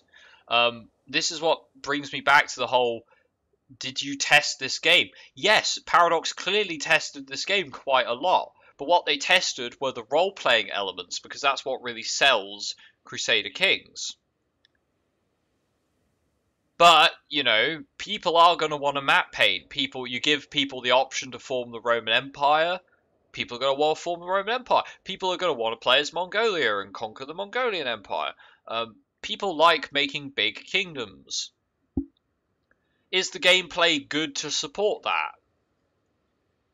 Up to a point. Up to the the point that you own two empires, you know, you reform the Empire of Iberia, maybe you conquer the Empire of France maybe you conquer Britannia as well. But once you've conquered that, you're at the power level where there is no threats left in the game. There are no threats left. As long as you've got the men at arms to support it, there are there are no threats. Which having the men at arms to support it is based on this. Okay? It's based on this. Which is primarily based on your succession law, but um, you can kind of circumvent that by having a large province with lots of baronies in it, but th- that requires a lot of investment. So, you know, it's not like the player just gets a free handout just because they know how partition works. Um, but that the AI doesn't have the cash to build additional holdings. Like the AI is never going to build this holding, and they're never going to do it. I mean, they barely even make new titles. Um, they just don't have the wealth, and even if they do have the wealth, like this guy's got, this guy's got two thousand fucking gold. It, it, is he gonna build up his pers- his personal holdings? You know, he's got he's got a ton of counties, right? Uh, he's got uh, the county of uh, Madeira. Um, I don't exactly know precisely what he holds, but he owns uh, over here. Is he going to build up this holding, this castle? I, I don't see him constructing something. Nothing's being constructed there right now. Buddy, you got 2,000 gold. Um, if he wanted to avoid partition, you know, there's a there's an additional slot here. He could construct a new castle. It only cost him 400 gold, maybe 600 or 800 gold. Mean, he's got the cash. He's got the cash to do that. He's currently he is losing money probably from having his troops raised because he is currently at war. So having his troops raised will mean that he is spending money. So maybe he doesn't want to spend money making buildings. But I can almost guarantee you that once that war is done, he might build one or two buildings. He'll hold a feast. He'll go on a hunt. He won't build. He won't build a new new duchy building. He he won't build a new uh, barony. He won't do that despite having 2,000 gold. So, is it something wrong with the AI's coding? I think it's I think it's something wrong with the AI's weighting. They don't put enough emphasis on improving their realm. They put too much of an emphasis on stockpiling or or just being a fucking idiot, I guess, and just starting wars that they can't win because they don't have a power base to fight them. Um, I mean, when you play EU4, even doing like an EU4 world conquest, so like you know, technology means that even AI with like and also combat width and that sort of thing, there are mechanics in place to make even smaller AI and their armies not a total pushover in the late game because you know a smaller uh, nation will have uh, developed a lot more they can still field 50,000 men those 50,000 men with the correct uh, of era tech are going to be able to hold off one of your stacks. I mean, you'll probably still roll over them, but um, you know, if you were to go, oh well, it's only an OPM, I'll send 20k troops after them. They will stack wipe you, and they will hold on to their land. They'll go and siege some of your fortresses down. They'll be a nuisance, right? They're not going to stop you on your world conquest, but you do need to actually put a credible amount of units on the board to go and fight them. You don't have to do that in CK3. The bonuses from these buildings and the way that the AI is inept and just cannot handle how uh, buildings work, it, it compounds into a problem where there is no credible. After a certain period in the game, there are no credible threats. The AI ceases to be a threat in any way, shape, or form. And unlike EU4, where the AI isn't a threat, but you still at least need to pay attention to what they're doing, I don't even need to pay attention to what they're doing. If you if you watch my videos, you'll see I literally go, cool, right, fighting the Abbasids, here we go. Let's spawn the army over here. Let's go and we'll go and burn. We'll go move here. We'll siege up a castle. The castle will siege in about four days. All right, this castle's sieged. Right, let's move to the next one. Let's go siege that castle down.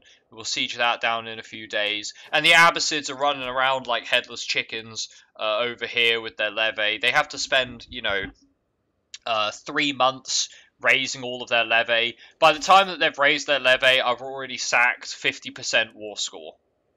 And then I just go, cool, so I've sacked all the war score that's, uh, that's like over here, that's close, you know, tight knit, bundled together. I'll just move my rally point over here, and then I'll go and take some of their land over here. Now, the Abbasid army is all the way up here. If they want to go resiege their land, they can. By the time that they resiege a single castle over here, I'll have already ended the war. AI is not a credible threat, so you know. Mo it's not. It's and yeah, you you know you could say to yourself, all right, I'm gonna do it without teleporting my army around, right? But but that doesn't stop me going, right, I'm going to go fight the Abbasids. Where's their highest concentration of fortresses that they own? Right, their highest concentration of power is in Egypt here. What I'm going to do is I'm going to say I own Turkey, right? And I'm trying to declare war to take over um, the Jeru- the Kingdom of Jerusalem and um, this sort of uh, region of the Middle East, you know, um, sort of the Israel, uh, uh, uh Lebanon uh, area. Um, I'm going to raise my troops. Right. And whilst my men at arms are now fully ready, I'm going to start separately raising my levies, right? This army is going to be marching and plowing through various different forts as we make our way to their capital. Maybe to try it like their capital's over here somewhere in Damascus. Try and siege that down and capture like their heir or something to make the war a bit faster. I don't have to teleport them around. It's not. I don't. Eh, it would be. It would take a lot longer to do a world conquest if I couldn't teleport them around, because it allows me to start multiple wars and just finish wars against large nations much quicker. But you know, it, I I could I could just go through the laborious process of marching these guys down and sieging everything individually, and then and then just and then just rather than uh, despawning them rather than despawning them, moving the flag, and respawning them somewhere else to just get the sieges done faster, um, I'd just walk up and do it normally. That would work too. It would take longer, but it would work. Um, the real teleporting issue is when I teleport my army halfway across the globe and it requires no time for them to rally. Doesn't take any time at all. Um, however, if they added a rallying time to men at arms, it would have to be static, maybe a week. Maybe rally. Maybe you can't rally men at arms whilst they've taken casualties. So you have to wait till they fully replenish. That could work, but then later on in the game, my men at arms weren't taking any casualties anyway, and any casualties they had taken would get replenished within a month. So that just stalls you for a month whilst you wait for the reinforcement tick. Is that is that a reasonable thing? Sure, I guess.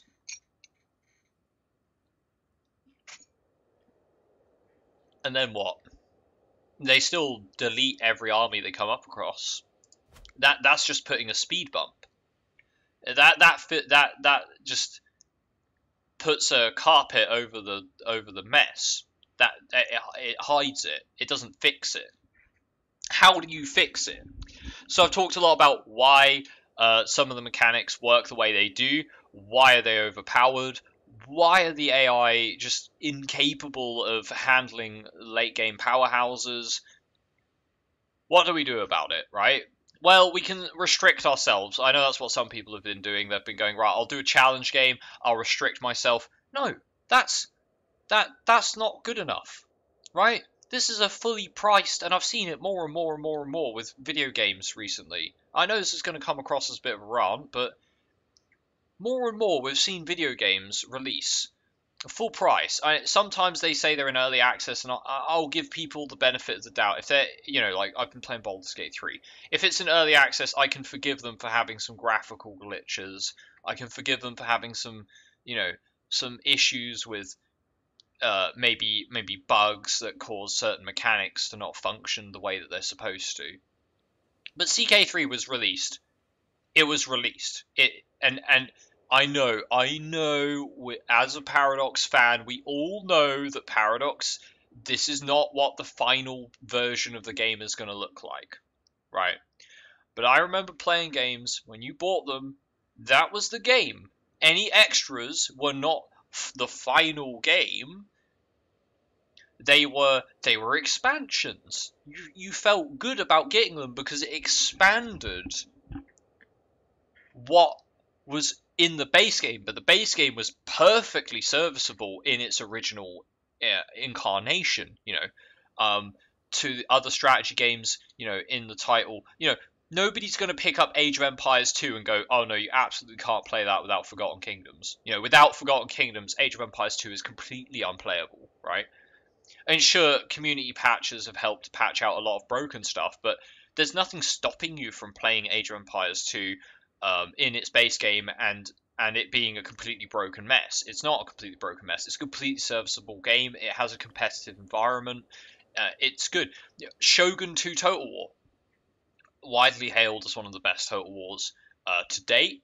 When Shogun 2's original game was out, I played all of the Total Wars on their original release, pretty well, except um, Shogun 1 and Medieval Total War 1. But I played Rome Total War one on its original release. And yeah, there was some overpowered stuff in that, but you know, you didn't question it and go, "Oh boy, like I feel like this game could do with so much more." Like, where are these features that were in the previous titles that I no longer have access to? And we will ask ourselves that with CK3. And this, you know, one of the strongest elements of Crusader Kings is the role playing element. Uh, where's our secret societies? Where's the ability to play in a republic? Um, you know, where's our bloodlines and dynasties, the artifacts that we can uh, collect, and uh, those sorts of things? Um, I can't remember all of the features that were in um, where, where's the where's the life the, the like I know there's lifestyles like they've done it as perks now and whilst you have a certain focus set you can get certain events but you know like the lifestyles in CK2 were admittedly they were better. They were something that you earned through a event chain where you had to make decisions along that chain of events to try to get a lifestyle. And yes, there's events tied, but after after you know two or three playthroughs of Crusader Kings three, you'll know what all the events are.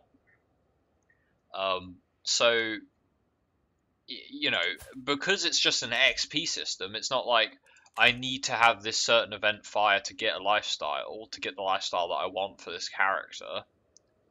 Which is somewhat RNG. It's just like, now nah, I'll just pick this lifestyle. Eventually, I'll get the event that I want like it's it's more consistent. I suppose consistency to the player is a good thing, but it also makes it a bit more you know gamey because you can just pick pick the things that you want. Now, honestly, I feel like the lifestyle system is good. This is not criticism of the lifestyle system. What I'm really criticizing is that you know there will be DLC for CK3 which fixes some of these issues. Does it need DLC to fix these issues? N no a lot of a lot of the things that you know there'll be like a uh, Art of War DLC for CK3 that fixes which changes the mechanics of warfare and and fixes the way that you it makes combat more tactical and it will have all these flashy uh, terms of bullshit and we'll all buy it We'll all buy it. I'm not. I'm not saying I ain't gonna buy it. I will. I like CK3. You know, for all the criticism that I give it, I. I I enjoyed my playthrough of CK3. Sure, by the end of a World Conquest, it was getting dull, but that's just that's just Paradox map painting. It's more of a personal achievement. It's not the intentional way to play CK3. Well, I mean, you know, when they say, here's a map of the world, you're allowed to conquer it, obviously I'm going to try and conquer it. That's part of the achievement of the game. But you don't have to, right? You absolutely don't have to. I mean, you could play the, the, the entire game from 18 uh, from 867 to 1421 or whatever as a count that never conquers anything if you if you really want, you know, it, more power to you, buddy. But but at some point we'll get sold a DLC or something that tries to fix the way combat works, and you don't need that. We, do, we don't need a DLC to fix why the game is so easy in certain respects, in and fixing certain mechanics about the game, right? Add a add a a month add a mustering timer. You can't muster your men at arms when they've taken casualties. That will stop some of the teleporting around bullshit. Um, honestly, if you just made the AI more competent with building things in their land, they would become a more credible threat in the late game. Because, you know, if you start in England, you have to spend like a couple of hundred years fixing up the British Empire, uh, and then, or the, you know, Britannia as an empire you have to build up your land, you have to get rid of the Vikings, you've got to convert places and culture convert and stop rebellions, and you have to stabilize this empire. And once you've done that, then you can think, right, let's go and invade France. Couple of hundred years spent invading France. We're now in the 1200s, in the middle Middle Ages, or maybe you did it in 100 years, and you took Spain in the next 100 years, and you're in the 1200s, and you're quite the powerhouse, and you're like, right, However, whilst you've been doing that, it's not like the AI have been sat still. Maybe Russia's formed, there's a big Mongolian empire, the Abbasids are still hella powerful, Mali's formed down here, you know, the Deccan Empire has formed, and you're thinking to yourself, crap, now I've got to fight these really big empires. That's going to be tough. But you think to yourself, right, I'm going to do it because I want to, I want to, I don't know, I'm going to go on a crusade against the Abbasids, right? You know, Deus Vult, all that bullshit. Um, so you go on, you go on a crusade against uh, for Jerusalem, and you're like, right, we got about equal numbers of leve, my empire of, of Western Europe versus the Abbasids. Let's duke it out. So your, your men at arms get off the boat. Uh, in I don't know Cyprus, maybe maybe uh, you picked up Cyprus, or like you you own Sicily or something, right? And you send your guys on their boat, and the men at arms get off the boat, and they go to fight the Abbasids, and you absolutely slap them without even trying because your men at arms just walk all over their troops. Because that's what happens right now. If the AI was competent and actually built their lands up and put more of an emphasis on having a reasonable amount of men at arms with some half decent buildings to support them both in tax and in stats, then the AI would be a credible threat. They just they just need to have their weighting changed. They they just need to focus more on getting some buildings up and keeping up with tech or the tech levels available to them Then you know just hoarding 2500 gold. That's probably not even the most egregious example. There's probably i mean this guy's got a thousand gold in debt. Couldn't he's making minus he, he's at war with sicily over something. He's got his minus a thousand gold He's got 99% war score. He probably can't finish that war because of some stupid dumb reason. Um, but this guy's got like four counties in central Italy. It's like it's not like this guy is poor, though. If I were to look at the actual baronies themselves, they're probably not the most well built up baronies. So you know, like he's getting a a, a measly uh, 2.8 tax. Uh, plus, plus one for being the realm capital. So his realm capital, oh, this this duke is here with his realm capital there. Um, which uh, where's the king's realm capital? Uh, Spoleto is that your is that your capital? The the barony Yeah, there you go, realm capital. Realm capital of the kingdom of Romania.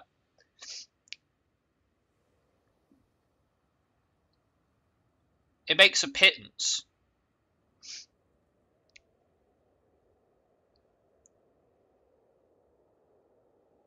3.4.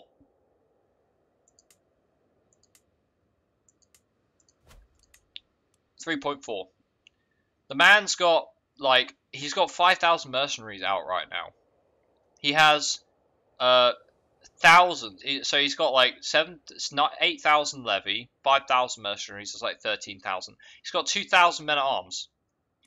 If I if I go and look at just like two thousand of my men at arms, right, like these pikemen. So he's got some he's got some siege weapons as well. So let's say we add these two together. That's six six a month, right?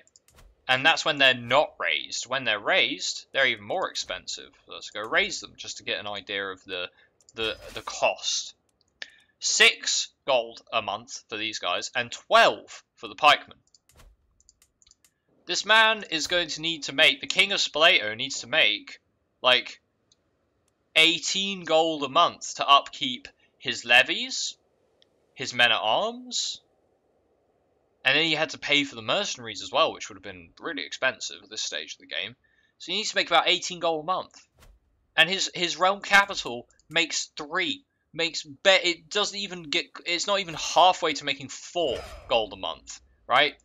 And he owns four counties. Can he support that army with four counties? No. That's why he's horribly in debt. Could he support that army with four counties? Yes. Y yes, he could. Absolutely. I mean, admittedly, Kaslav does have a gold mine, but if I ignore that, right? Prague, 6.9 gold reasonably well developed. And that's on a hill. This isn't even a good province for taxes. Zatek, farmland county, reasonably well developed. This is only a level 4. This isn't even a level like higher than that. Level 4. Makes 7. 7 plus, you know, 8 plus 7. You know, we're already up to 15 gold right? All right, let's let's add in Litomerice, which isn't even particularly well built up, and it only has uh, 49 control, so it only has half its control, so it's only providing half its taxes. This would normally be providing eight, but let's just roll with it. I uh, say one of my provinces had a bad control event, and I only get half my taxes from it. That's still four. I'm now making 19 from three counties, right? Let's throw another county in there. I mean, this guy's in central Italy this is a high dev, high tech area. So, you know, Rome, which does admittedly have some very, you know, well boosted things, but um, most of its uh, ta tax bonuses are going from Grand Estates or the Grand Cathedral, which is in the area, right? Um, it, but you know, it's that's making ten. Uh, he he's in the the guy's in Italy. Let's just take for example a um uh, this this uh, this isn't even a proper county. This is a barony. This is just a shitty little barony. It's only got one tax building, which is this forest glassworks. Well, you, you know, it's got it's got a thing that gives taxes, right? It makes four. So even with four and two of them are not even particularly, you know, great uh, provinces for income, I, I could support that army with four. It, you totally could. And this is in 1368, but the problem is, is his land is atrocious. It's crap. Like, look at this. This is a this is a hills in Spoleto. He's got Hunter's Lodge that gives taxes. Hillside Fields gives taxes. Pastures gives taxes. If they were built up a little bit, yeah, he could totally support that army. You know, I don't know what else he owns. Um, County of Viterbo, barony here. This is on plains, so it can it could have um, it, he's he's actually built the castle up, so that's actually giving more defense. But you know, he's got two tax buildings there. This is actually a pretty well developed one, to be honest. Um, but you're starting to get the idea, right? There's there's no reason that the AI has to go broke. There's no reason. Um, they just need to actually focus on building their land up a little bit more. However, this all does come with a caveat. Of course, it comes with a caveat because there's one the biggest issue with CK3. Um, and it's I, I don't know how you would fix it besides just changing the game.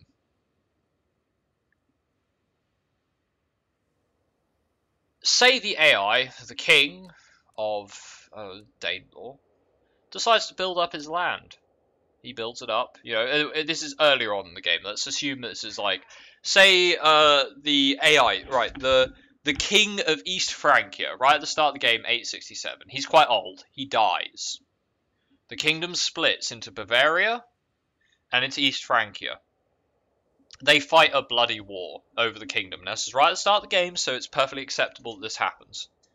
And uh, the king, the king of East Francia wins. He's 20 years old. He's reclaimed the kingdom of Bavaria. He's now a powerful king in in Central Europe again. But he needs to build up his power base. So he does. He owns uh, four counties. Let's say he owns four counties because early on in the game you can't have as many uh, domain holdings. So he's got four counties. He starts to build them all up. He puts uh, level two buildings in all of them, which is actually quite good for you know the early 8 867 stages of the game. He gets level two tax buildings. Um, he gets a couple level two levy buildings. This this affords him a larger men at arms uh, pool. He, he's done pretty well for himself. Uh, his tech's advancing, you know, his heir will be able to start building up his land to level 3, level 4. And then he dies. And he has to give three of those counties away to different heirs. He's now left with one county. Why does he have to give away that land to different heirs? Well, because at the start of the game in in uh, 867 and in 1066, because the other succession laws will not be available, you have to play with partition. And that is the that is the key issue with the AI not being a threat. You don't get primogeniture until the end of the game. And even if the AI flips into house seniority at heraldry, this is not accessed till what 11, 1150 or so, at the 1100s or something. 867, uh, 1000 AD or 900 AD, and this is like a 1000 or 1100 AD, and this is like 1200 AD, right? So, and most of the AI is probably not going to flip into house seniority. I don't think. Maybe they do, but either way you see what I mean? There's a there's a vast section swath of the game where partition. Now 1066 is probably more balanced. Don't get me wrong. 1066 is probably way more balanced, but the game gives you the option, and lots of people are going to do this. The game gives you the option to play in 867. It's like, oh, in EU4 you have the option of playing in 1444, right? You also have the option of playing in the in 1620, right? Most people are going to play in 1444 because it's the earliest start date. It's the beginning of the game. Sure, some people want to start halfway through, but beginning of the game, you want to start in the, the beginning of the game, right? Rise and fall of an empire, you know, it's more satisfying to play it right from the start. At least it is for me, and it probably is for most Paradox players as well. 1066 is like starting in 1620, right? Everything's going to be more developed, but it will be more developed artificially. Why is it developed artificially? Because there's no fucking way that the AI could make the map look anywhere as good as it is. Right, just just just just to point it out, right? Right, because Poland is all tribal land in the 867 start. Now that it's been turned into not tribal land, we have counties. You know, this is this isn't that far into Poland. I took this over pretty early on. This is a county. The count hasn't freaking built anything there. It's it's 1368. There's no buildings in this county, right? Do you wanna do you wanna go? Do we want do we want to go? I might as well. Let's let's go take a look at the 1066 start and take a look at that county and see how many buildings are there. Because I bet you there's going to be the barony, there's going to be a city and a temple, and there's going to be a ton of buildings there too.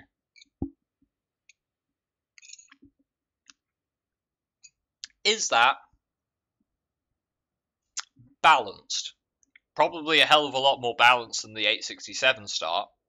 But why is it more balanced? Well, it's more balanced because now I could get totally blown out the water here, but I'm just assuming if I go 1066 and go um uh rags to riches. Oh, okay, that's for an achievement. Um, play as any ruler in 1066. Oh, they got a new intro screen and stuff. That's that's fancy. Maybe you should fix the AI rather than the intro. Um, yeah, let's go. Let's go look at Poland, shall we? This is this, this province here. We're gonna go play as this guy, uh, Count Vaclaw of Chisk. Um, I probably said that wrong, but anyway. Gostynin. 1066. It's not tribal, right? So they've already non-tribalized it. It has one building, but it also has a temple. Now temples cost, uh, well, holdings cost like 800 gold, right? So you're telling me in 300 years, the Count of Gostynin has not been able to make 300 gold. Or build up a single building. A single building in like 300 years since becoming feudal. And that that's just one example. I mean, I could go over my entire game and pull out provinces that are underdeveloped. I mean, look, you know, there were some level, there were some provinces, there were some baronies in Germany that were like they had two in every building. Um, it's most egregious in, in like the areas that like like Novgorod, where these will be. Um, I mean, these aren't quite so bad because you know they haven't actually built up the uh, other holdings either. But you know, it's it's sad really because you look at you look at these provinces like Novgorod. Novgorod itself. It, this was a, a merchant capital of the medieval world. It's got two baronies. That's it two baronies. It will never have anything else. I, and I can say that with certainty. The AI will never, never build one of these holdings up. They just won't. They will never invest 800 gold to do that, or 600 gold, how much it costs. They won't do it. Novgorod will never be a powerful merchant capital of the medieval period in, in, in Russia. It will never be some splendor, splendid city um, the AI just doesn't know how to do it. The AI just doesn't know how to do it. I mean, we look at Venice. I mean, Venice in 1066. I mean, come on, man. This is this is atrocious. Uh, Venice wasn't a shithole in 1066. At least as far as I'm aware. In fact, most of Italy was was doing all right because this was like the you know the heartland of the Roman Empire. It was one of the few places that wasn't completely ruined. You know, I mean, you know, we, we take take a look at Constantinople. These are all level one buildings. This is barely this is this is barely or probably even not even as good as the ten as the 867 start. It's like in the time period between 867 and 1066, very little has changed. I mean, at least with the AI, that makes sense because you know between 867 and 1066, the AI probably hasn't changed in 200 years. They probably haven't built anything in the uh, capital of Byzantium, but you I know I know this is like scathing, but it's true. It, it's true. The the AI just doesn't know how to work the economy of the game. And like how how could Paradox have played this and went, yeah, that's fine. AI is worth, working perfectly as intended. And I'll tell you why that they thought the AI was perfectly as intended. And again, this is as I said, beta testing games and just you know understanding how to check if a game works in house, they have a they have an idea of how the game should work. Oh, people are supposed to play a king. I'm playing the Count of Vaclaw of Chersk. He is a he is a temperate man, but he's lazy and uh, but he's generous. So he's temperate. He's generous. He's a he's a good negotiator. He's going to become friends with various different people in the kingdom. He's going to raise a, a, a good Christian family. You know, he's, he's virtuous, but he's lazy. He has he, he lacks ambition. He why would he go about conquering more land? Perhaps one of his sons, his son who is who's rowdy. Perhaps perhaps his son Wincenty. Wincenti, I don't really know how you'd say that name, but maybe his son will become ambitious and then he will conquer more land in the name of the family, right? But they're really role playing the characters, right? And and so and they probably don't even play till the end of the game anyway. They play for like hundred years and then go, or they play for one character and go, oh that was fun, and then they stop, right? But if you really like had someone on the testing team who went, all right, let's let's push the game, let's let's let's play, let's get as far as I can during the beta testing, right? Regardless of bugs and stuff, and really like try to exploit the crap out of everything, you know? Like, and here's the thing: things like the North Korea strategy it's not like these weren't known about in CK2. If they wanted to stop them, they could have. They could have put in um, uh, fail safes for that kind of thing. Like those those glitches and exploits were known in the previous title. So it makes me feel like they either just didn't bother or they didn't know about them, which means that they weren't paying attention to the to the uh, understanding of the game that the players built up over the years. But yeah, like they would have had. I don't think they had anybody in house who actually tried to really game the system. They didn't try to be gamey. Is it fun to be gamey in a game like CK3? Some people are going to find it fun. Well, actually, the people who would find it fun are going to find it disappointing because the AI is not a challenge, right? And if the AI was more gamey, well, it's not gamey. It's not gamey that the AI builds up their land and is actually somewhat competent at managing their armies, you know? It would make the map actually look a lot more contextually accurate, you know? The medieval era wasn't full of backwater castles like oh the temples and the cities are incredibly well developed but the castles themselves oh no oh no they're just like some mud ditch with some some half-starved peasants that the Lord kicks around and throws into combat, you know, meaninglessly. That's absolutely not what the feudal era was like. Once you get into the, you know, we were in 1368 and a lot of the castles were still, you know, barely a, a motte and bailey.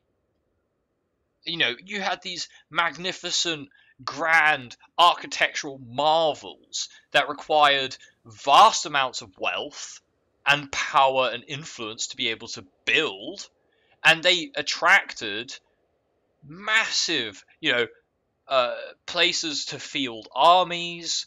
Uh, they could hold, you know, some sieges in the medieval period lasted for literally years because the forts were that well advanced you'd have to siege them, and these were people who were sieging them that had access to siege weapons and advanced siege tactics, and they would have to try to starve the defenders out and assault the castle, you know, piece after piece for for years to break through because they were that well designed.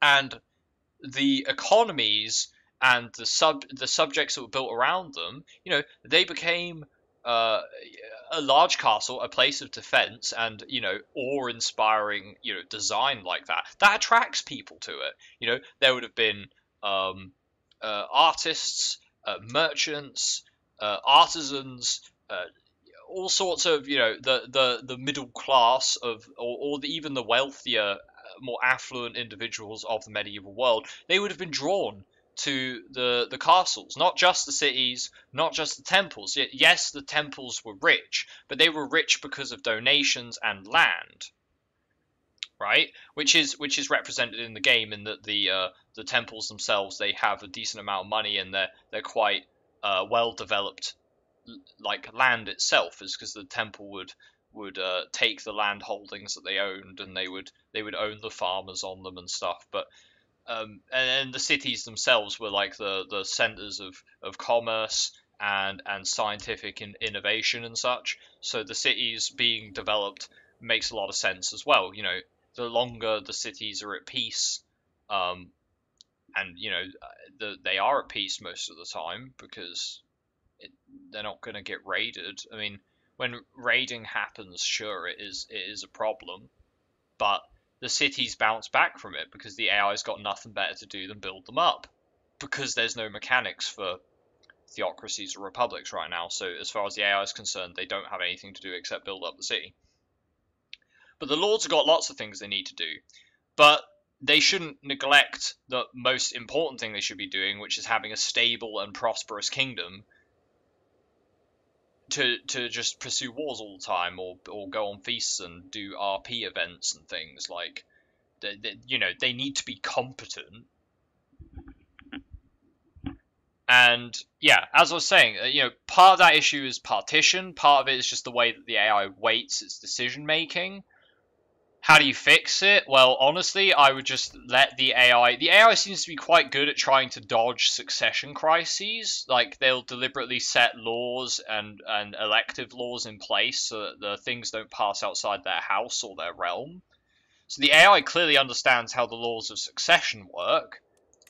Could we please, could we please just be able to switch to primogeniture based on crown authority? The AI seems way more happy to make um, factions that will reduce your crown authority than in previous titles, in CK2 being the previous title. Um, the AI is way more likely to create factions to kick you down a notch on Crown Authority. And if you had to get all the way to absolute Crown Authority to set primogeniture, or it says high, so if you, you had to go all the way to high to get primogeniture, how is that not balanced? Why why does it have to be locked behind a technology as well? Why why does it also have to be locked behind a, a, a tech that's, you know, oh you don't have it till the 1200s? And that doesn't even historically make sense. Oh, the the king the king dies, and then he passes the title of king to his son. Yeah, that happens in partition as well, but he just gives away all of his other holdings. Do you know what kings actually did? This is a this is a pretty this is going to be a bit more culturally associated with me being from England, but England had a incredibly rich um, church culture with you know church architecture and you know lots of monasteries and churches. Do you do you know why that is? Because when a English or a, a Saxon, I should say Saxon, because at the time they were the Saxons. Uh, wh why why did the Saxons build so many cast, uh, uh, uh, temples and monasteries and things?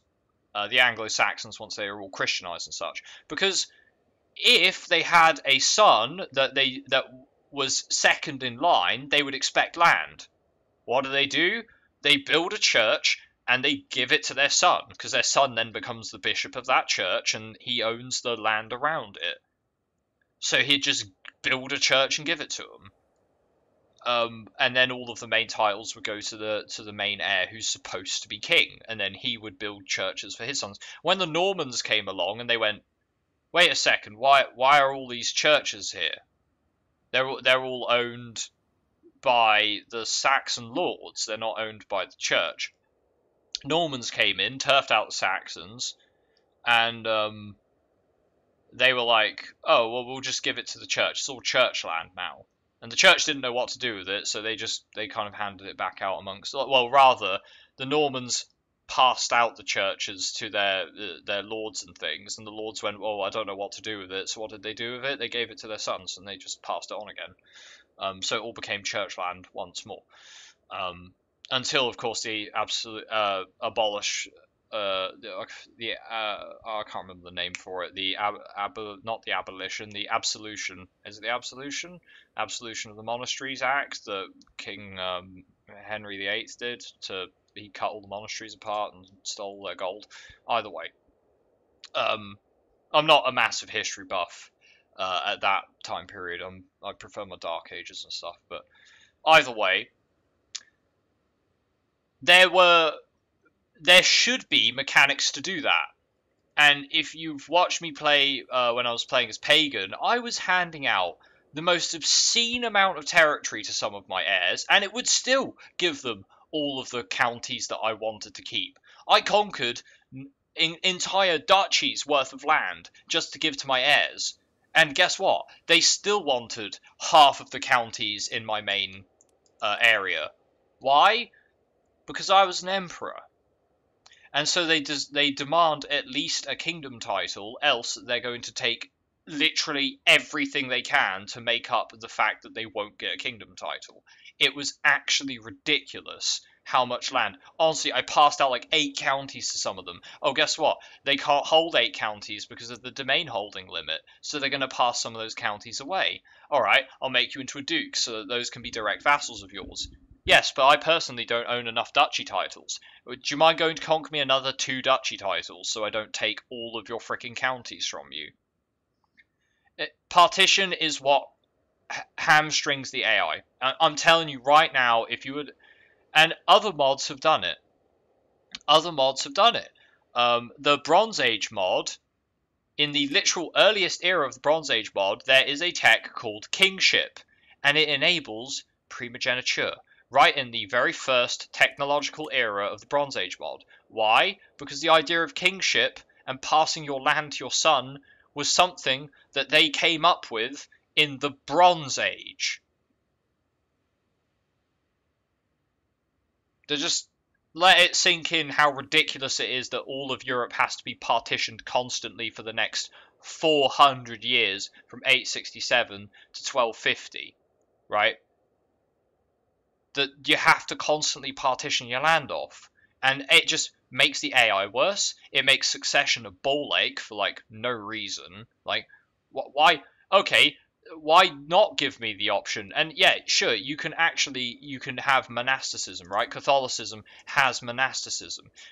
Courtiers can take vows and become a monk. Yeah, well, I could also go to my heir here and go, yo, I, I want him to take the vows, right? Rather than disinherit. I know you can disinherit him, but I could ask him to take the vows. Will not accept. Why? Second in line for your primary title. So I can't make him a monk right? Because he's second in line for my primary title. If I make a church, it immediately gets given out to, lo and behold, Mr. Suffragan Bishop here, who controls all of the all of the temple holdings in our land. That's not actually how the church has functioned, but that's okay. We'll probably get some more, you know, functionality to the uh, to the theocratic elements of the game when they release a DLC that handles theocracies, or at least expands how temples work. So what, what do I do? I make a barony, and I give it to my second in line son. Well, too bad. Um, I have partition, which means that he's going to expect a county because the highest title available to him is county. So I'm still going to, even if I build a barony and give it to one of my sons, he's going to want additional land. Uh, do you know why Gavelkind wasn't such of a Bull Lake in the previous um, CK2. I mean, it was still a Bull Lake, but why Gavelkind and Partition wasn't so bad in CK2. As long as your son was landed, it wasn't a problem. As long as you gave them some land, because that's all they asked for. They just wanted some land. That was the law. The law of the realm is that all of your sons must be landed, and upon the family, the head of the house dying, his lands will be split amongst his sons. Yeah, his unlanded sons. If his sons are landed, then it doesn't count them in the succession because they already have a title. In CK3, that's not the case. In CK3, if your sons are landed, but not with the highest possible title underneath your current one, they will just gob, they will just steal everything except the just a line, a single line of one title, emperor, one ki- one emperorship, one kingdom, one duchy, and one county. That's it. They'll let you keep that. They'll let you keep that. But everything else, the other seven counties you owned, the other duchy title you had, the other kingdom title you had, nah, those get taken away from you if you have too many heirs. And I guess, yeah, some people will go, have less heirs. Which is a ridiculous notion because we're in the medieval period. So the the one answer to the the problem is a ridiculous one. So yeah, just take just just, just get rid of the whole laws are, uh, are locked behind freaking get just get rid of it. That that would solve the, the AI would be ten times more functional. I can guarantee you that. I can, I can guarantee you the kingdoms and the empires would be 10 times more functional if they were just allowed to pick primogeniture.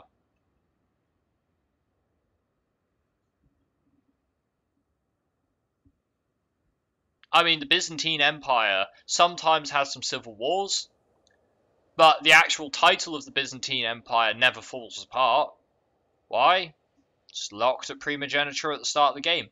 The Seljuks, same thing. Guys got primogeniture. Am I, if I were to play this, would I see the Seljuks fall apart? Maybe to a civil war or an independence war, but not not to succession. Seljuks are always going to be there, and the head of the Seljuks, the the, the ruler of the Seljuk uh, Empire, he's always going to be a powerful man because all of these titles are going to get passed to his heir. Look, he gets all these claims. Implicit claim for primogeniture. This guy. He's going to get all of them. He's going to be powerful. And then his heir, he's going to be powerful because he's an emperor.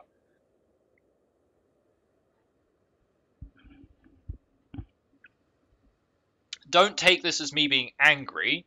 I'm trying to give some sort of constructive criticism of how we can make the game better or fix elements of the game that would make the AI more challenging and it would make the AI develop better over the course of a longer game as opposed to a short game where the AI is just like if you're only playing for the lifetime of one character, fair enough. Then this doesn't apply to you. If you're only playing for the the, the, lifetime of your main character and his main heir, fair enough doesn't apply to you. But if you want to play all the way from 867 to 1421, if you are in any way expanding and are somewhat competent at Paradox, like you don't have to be the best player ever. You just you, you don't even have to be particularly quick. You can be hella slow, and you'll probably still end up with three Empire titles. And guess what? You'll be able to walk over absolutely any AI in the game because they won't be able to fight your men at arms stacks. And those are with totally, into, as I said, totally intentional, as is in the game, mechanics.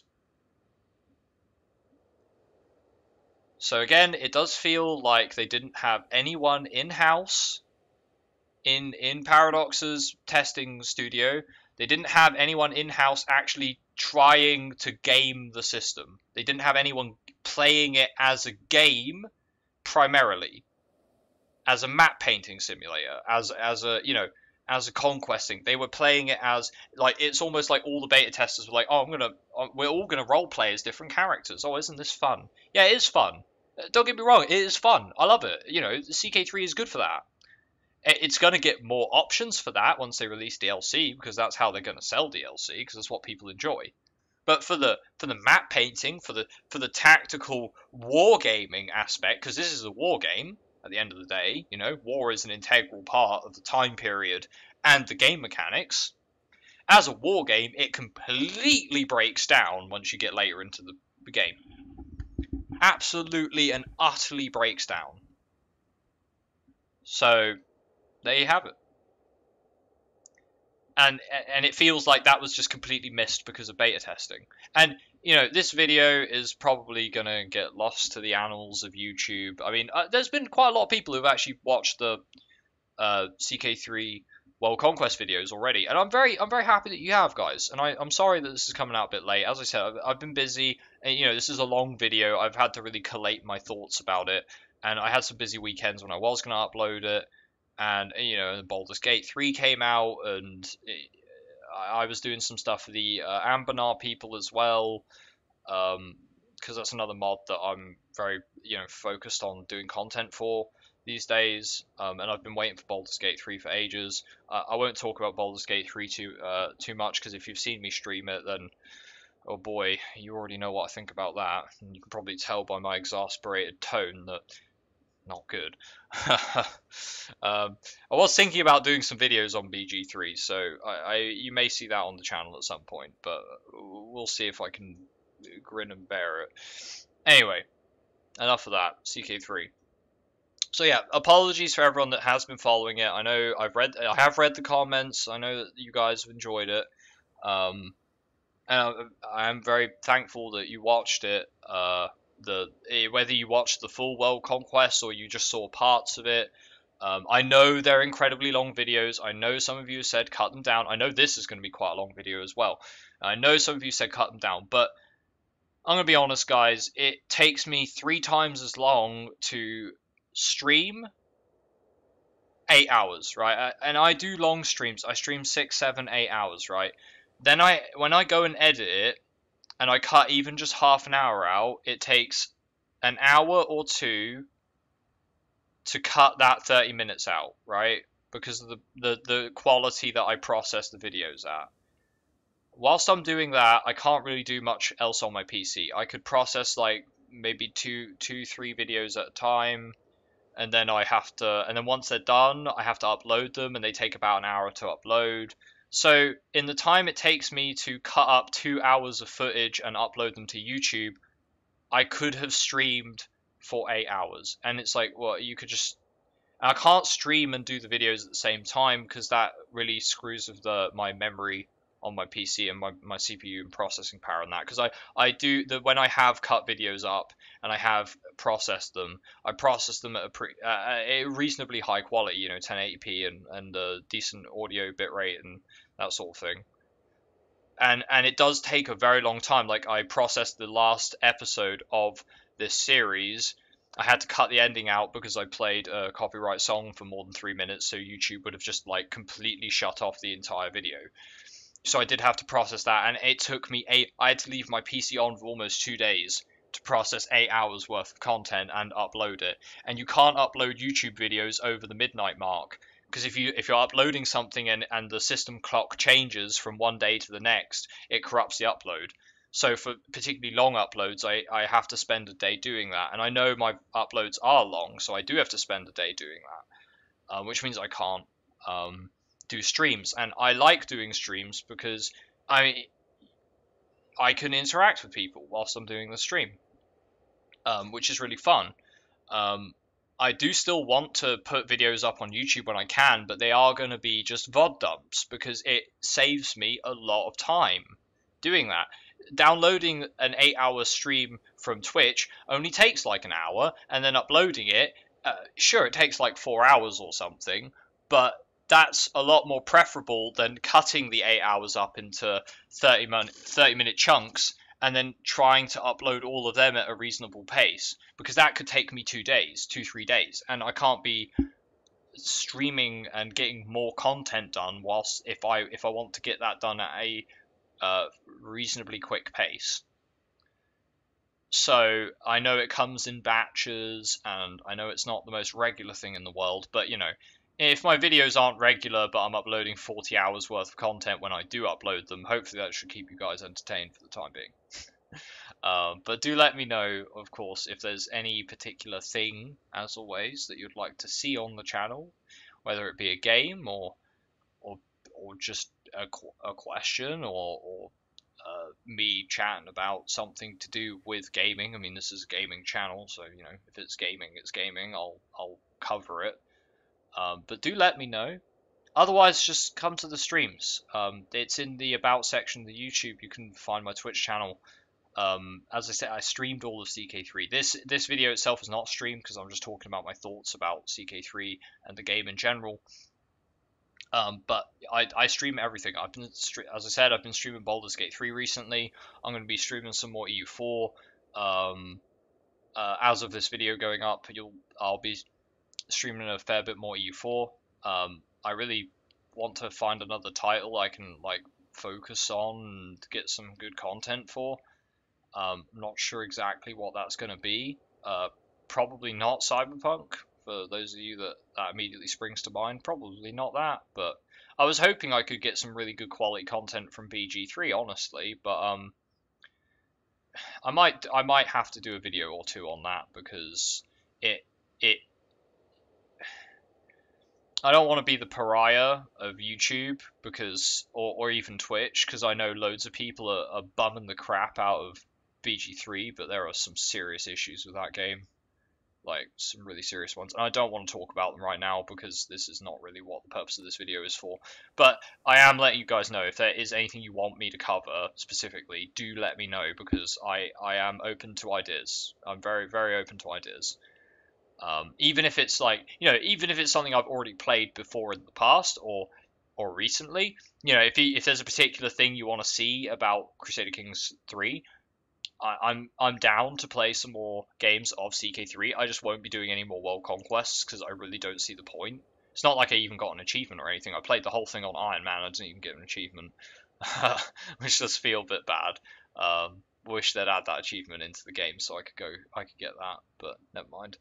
Um, anyway, I, I think that's about all I wanted to cover. So I know I've rambled a lot.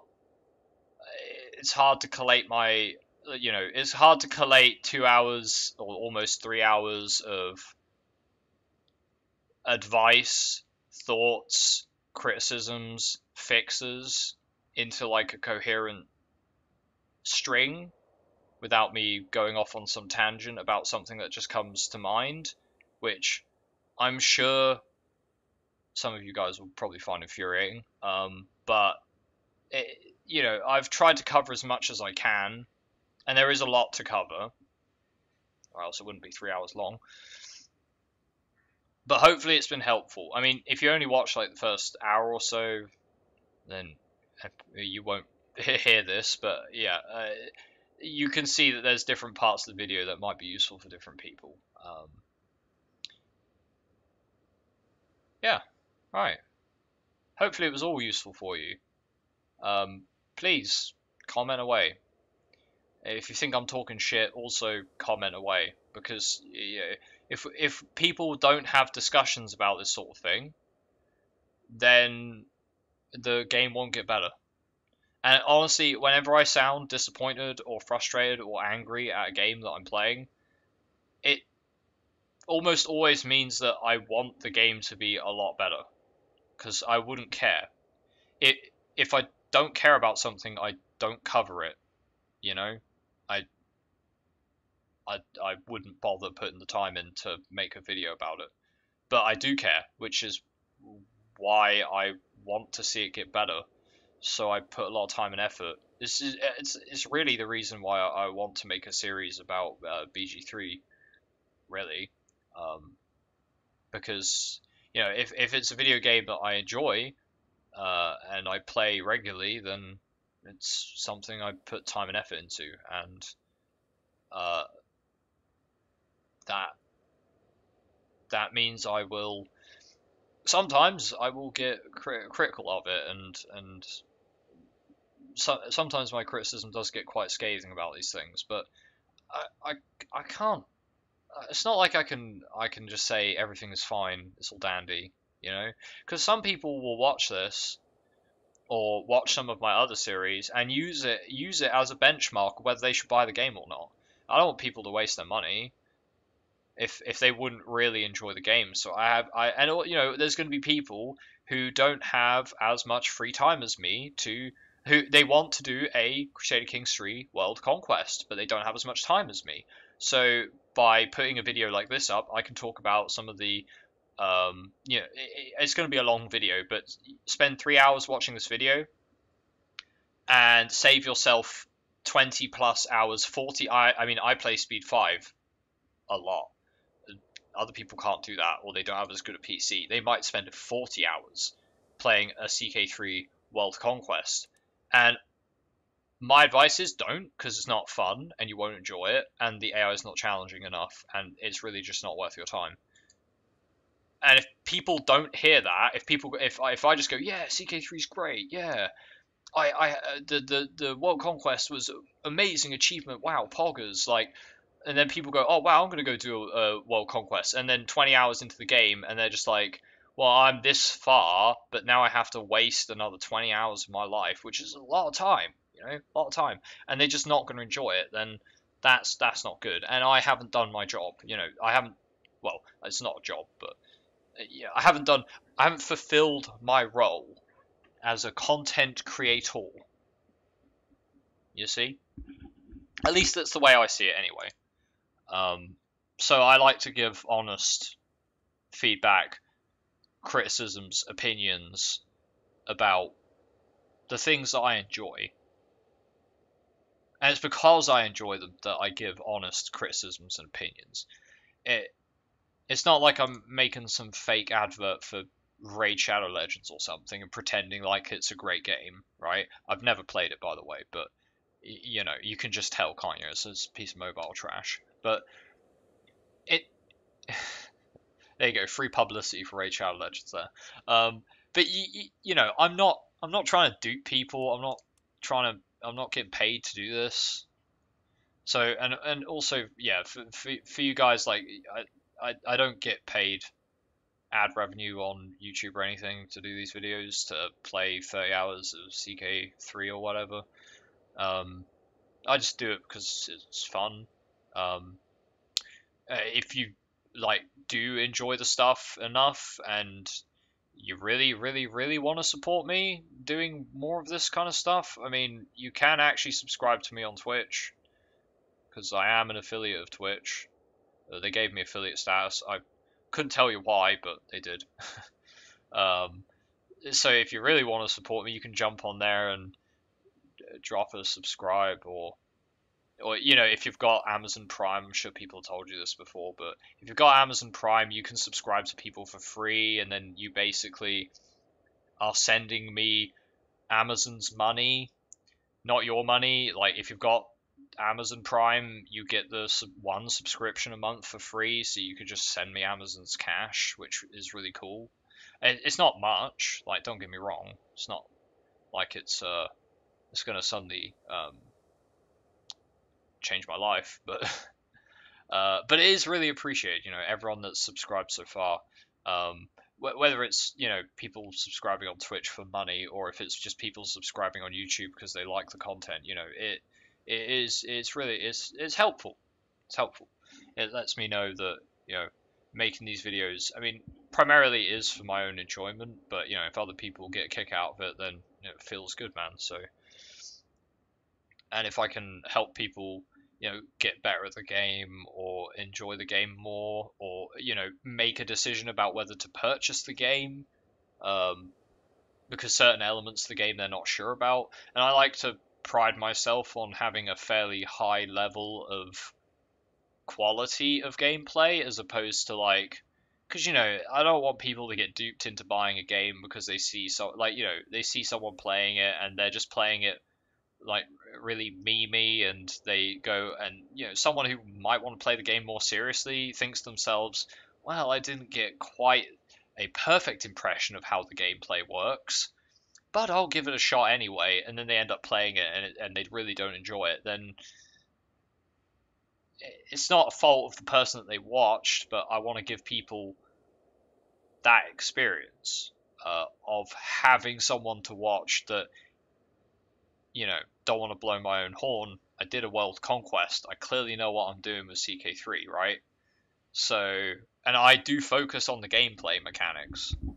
You know, not not the role play. I don't, I don't you know, the, sometimes I'll I'll role play a bit, but if I was doing a role play game, I would that would be the focus of the game, not the mechanics. Because I was doing a world conquest, the clear focus is the mechanics of the game and I wanted to showcase that. Hopefully, I did a good enough job of that for you guys. And now my my summary opinion, which you know I've said more than once now, is um is that it's not worth your time. Crusader Kings 3 is worth your time. Crusader Kings 3 is a good game. But if you want to play Crusader Kings 3, uh, to do a world conquest, say that you've always thought about doing a world conquest but you were never sure about it. It's not fun, don't bother. The, the game does not support a world conquest. It, you don't even get an achievement for it. you get bragging rights. I have a save file I can now load up and point at people and go, look, I've finished a world conquest. No cheats, it's on Iron Man, you know. Um, it is what it is. But that's it. It's it's it's it's bragging rights. That that's all it is. I, I personally want to do it because I feel a, a, personal sense of satisfaction for having finished it. Um, but for those of you that are more casual players or players who are like, I've never done a world conquest, should I do one of CK3? It's not that difficult, but it's also not very rewarding. Um, so I would recommend if you play CK3 and you, uh, sure, you can add your own challenge to the run. You can do that. But if you really want to push the uh, the game to its limits, you're not going to find it very hard.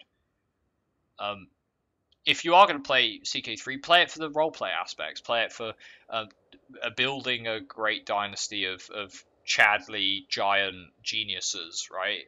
Um, go and sleep with the, the king of Novgorod as some, I don't know, 17 year old Mongolian uh, twink down in the kingdom of Kocho or whatever. I don't know. Go abduct the the Duke of Glasgow and uh, uh, castrate him and sell him back to his family. Yeah, just have fun doing the wacky dumb shit that CK3 is good for. Because that's what CK3 is good for. It's good for the fun, stupid, absurd things that are represented in the game as and, and the, the mechanics of the warfare hold up decently for the first half of the game. Which, to be quite frank, most people never finish a game of Paradox. They don't play till the end date because it becomes a slog. It happens in all of their games. Uh, they just haven't cracked the formula yet. I'm sure they will at some point, but they just haven't done it yet. Right? How I would go about cracking that formula? Honestly, I'm not even sure. Um, I'd have to think about it. But as far as cracking the formula of making the AI a little bit more competent, got to change the per- the weighting on decision making to make them more economically focused. You need to change the personalities so they know how to spend their money and build up their their nation more. And you need to make partition less shit. You need to make it so that the AI can actually get the other succession forms at a reasonable pace. Otherwise, they're too weak for too long. And if they're too weak for too long, they never build up. And if they never build up, then they're never a threat. And, and none of the countries are a threat because it's just your stack of men at arms versus their blob of levy that don't do anything.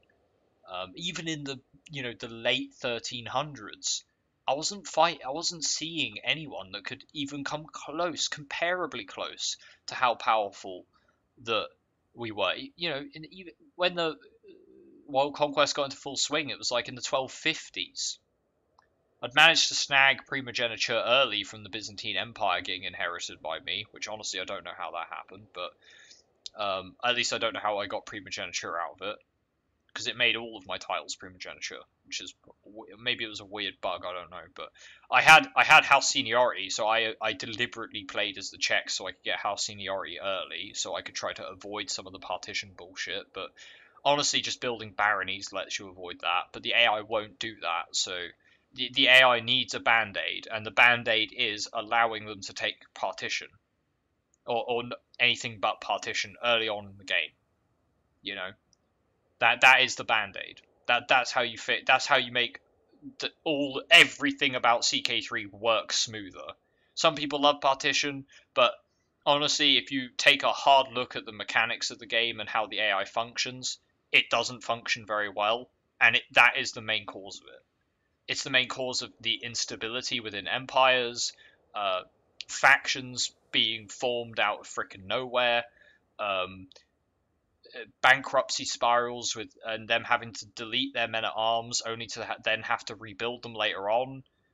Uh, it's it's all to do with partition and them losing their power bases constantly and then never having never having the the sense to build up one because they don't know how to because it was clearly not designed into them to function that way.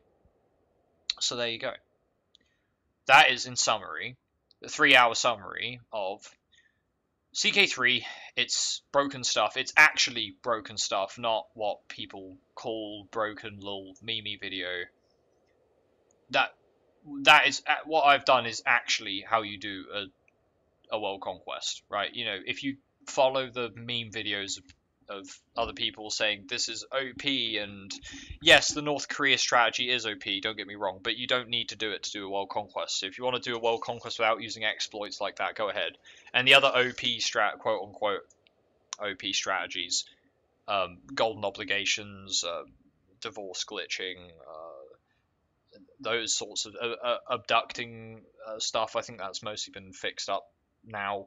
Um, they're not actually what's intrinsically broken about the game, as I've stated. The intrinsically broken stuff is I've covered. I'm not going to talk about it anymore. Um, but in case you didn't know, now now you know what the busted ass stuff is, and, and or or it's given you a perspective because you may have known about like the teleporting units thing. Everyone knows about teleporting units thing, right? But when you're just teleporting from one side of your kingdom, you know, one side of England to the other, doesn't seem that broken. When you're teleporting when you're fighting a war in Mongolia and then you're fighting a war in southern India and then you're fighting a war in Egypt. Right, back to back, you're going Mongolia, fight, win. India, fight, win. Egypt, fight, win. Africa, fight, win. Right? When you're when you're doing that, you realize how busted it is, right? So there you go. Anyway, we're going to be just under the 3 hour mark. thank you all for watching up to this point. If not, um, maybe on some psychic level you'll understand my thanks for at least clicking the video open and watching a short part of it. I hope this answers any questions that you have about CK3. If you do have some questions, of course, please put them in the comments. I'll try and get to them as soon as I can. And if you want to see more content on a more regular basis, please check the uh, About section of the YouTube. There is a link, there is a permanent link to the Discord in there where you can ask me questions directly. There is a permanent link to my Twitch channel. Please follow that if you want to see live content. I, I don't like asking for follows, and I absolutely am not going to ask for subscribes and things like that because that is on your own volition. If you wanted to subscribe, you've probably already done it. if you wanted to follow, you've probably already done it. But some people don't know that I I also work I also do things on Twitch. I do try to mention it regularly so that people know because that is where I do my live things, and I also try to mention the Discord because that is an easy way to get in contact with me on a real term basis. You know which can be helpful for people that want to ask questions because I, I don't necessarily check YouTube as regularly as I used to, given that I don't upload videos to YouTube as regularly. Um, but yes, if you if you do want to, you know, check my live content, then Twitch is the place to go. Okay. All right, guys, it's been me, ChaffCommander Coffey. Thank you all for watching up to this point, or whatever point you did. I wish you well. Good luck in whatever runs you happen to be doing on CK3. May your heirs be geniuses and your successions short, swift, and uncomplicated. And for the future, I'm not exactly sure what I'm going to be doing as my next series. Possibly something to do with EU4, probably something to do with EU4. So expect some more Paradox titles in future, but if you have any suggestions for things you want to see, uh, things that I've played in the past, things that you think I would like, or just general suggestions from things that you've heard me mention on stream or on the channel beforehand, please do let me know. It's all helpful to know what people want to watch because I, uh, you know, anything that I've played or you know could check out, I'm probably going to enjoy you know, video gaming is great after all, um, especially in these dark times. And uh, yes, do stay safe, everyone. I will see you again when I see you. Have a good one. And until next time, goodbye.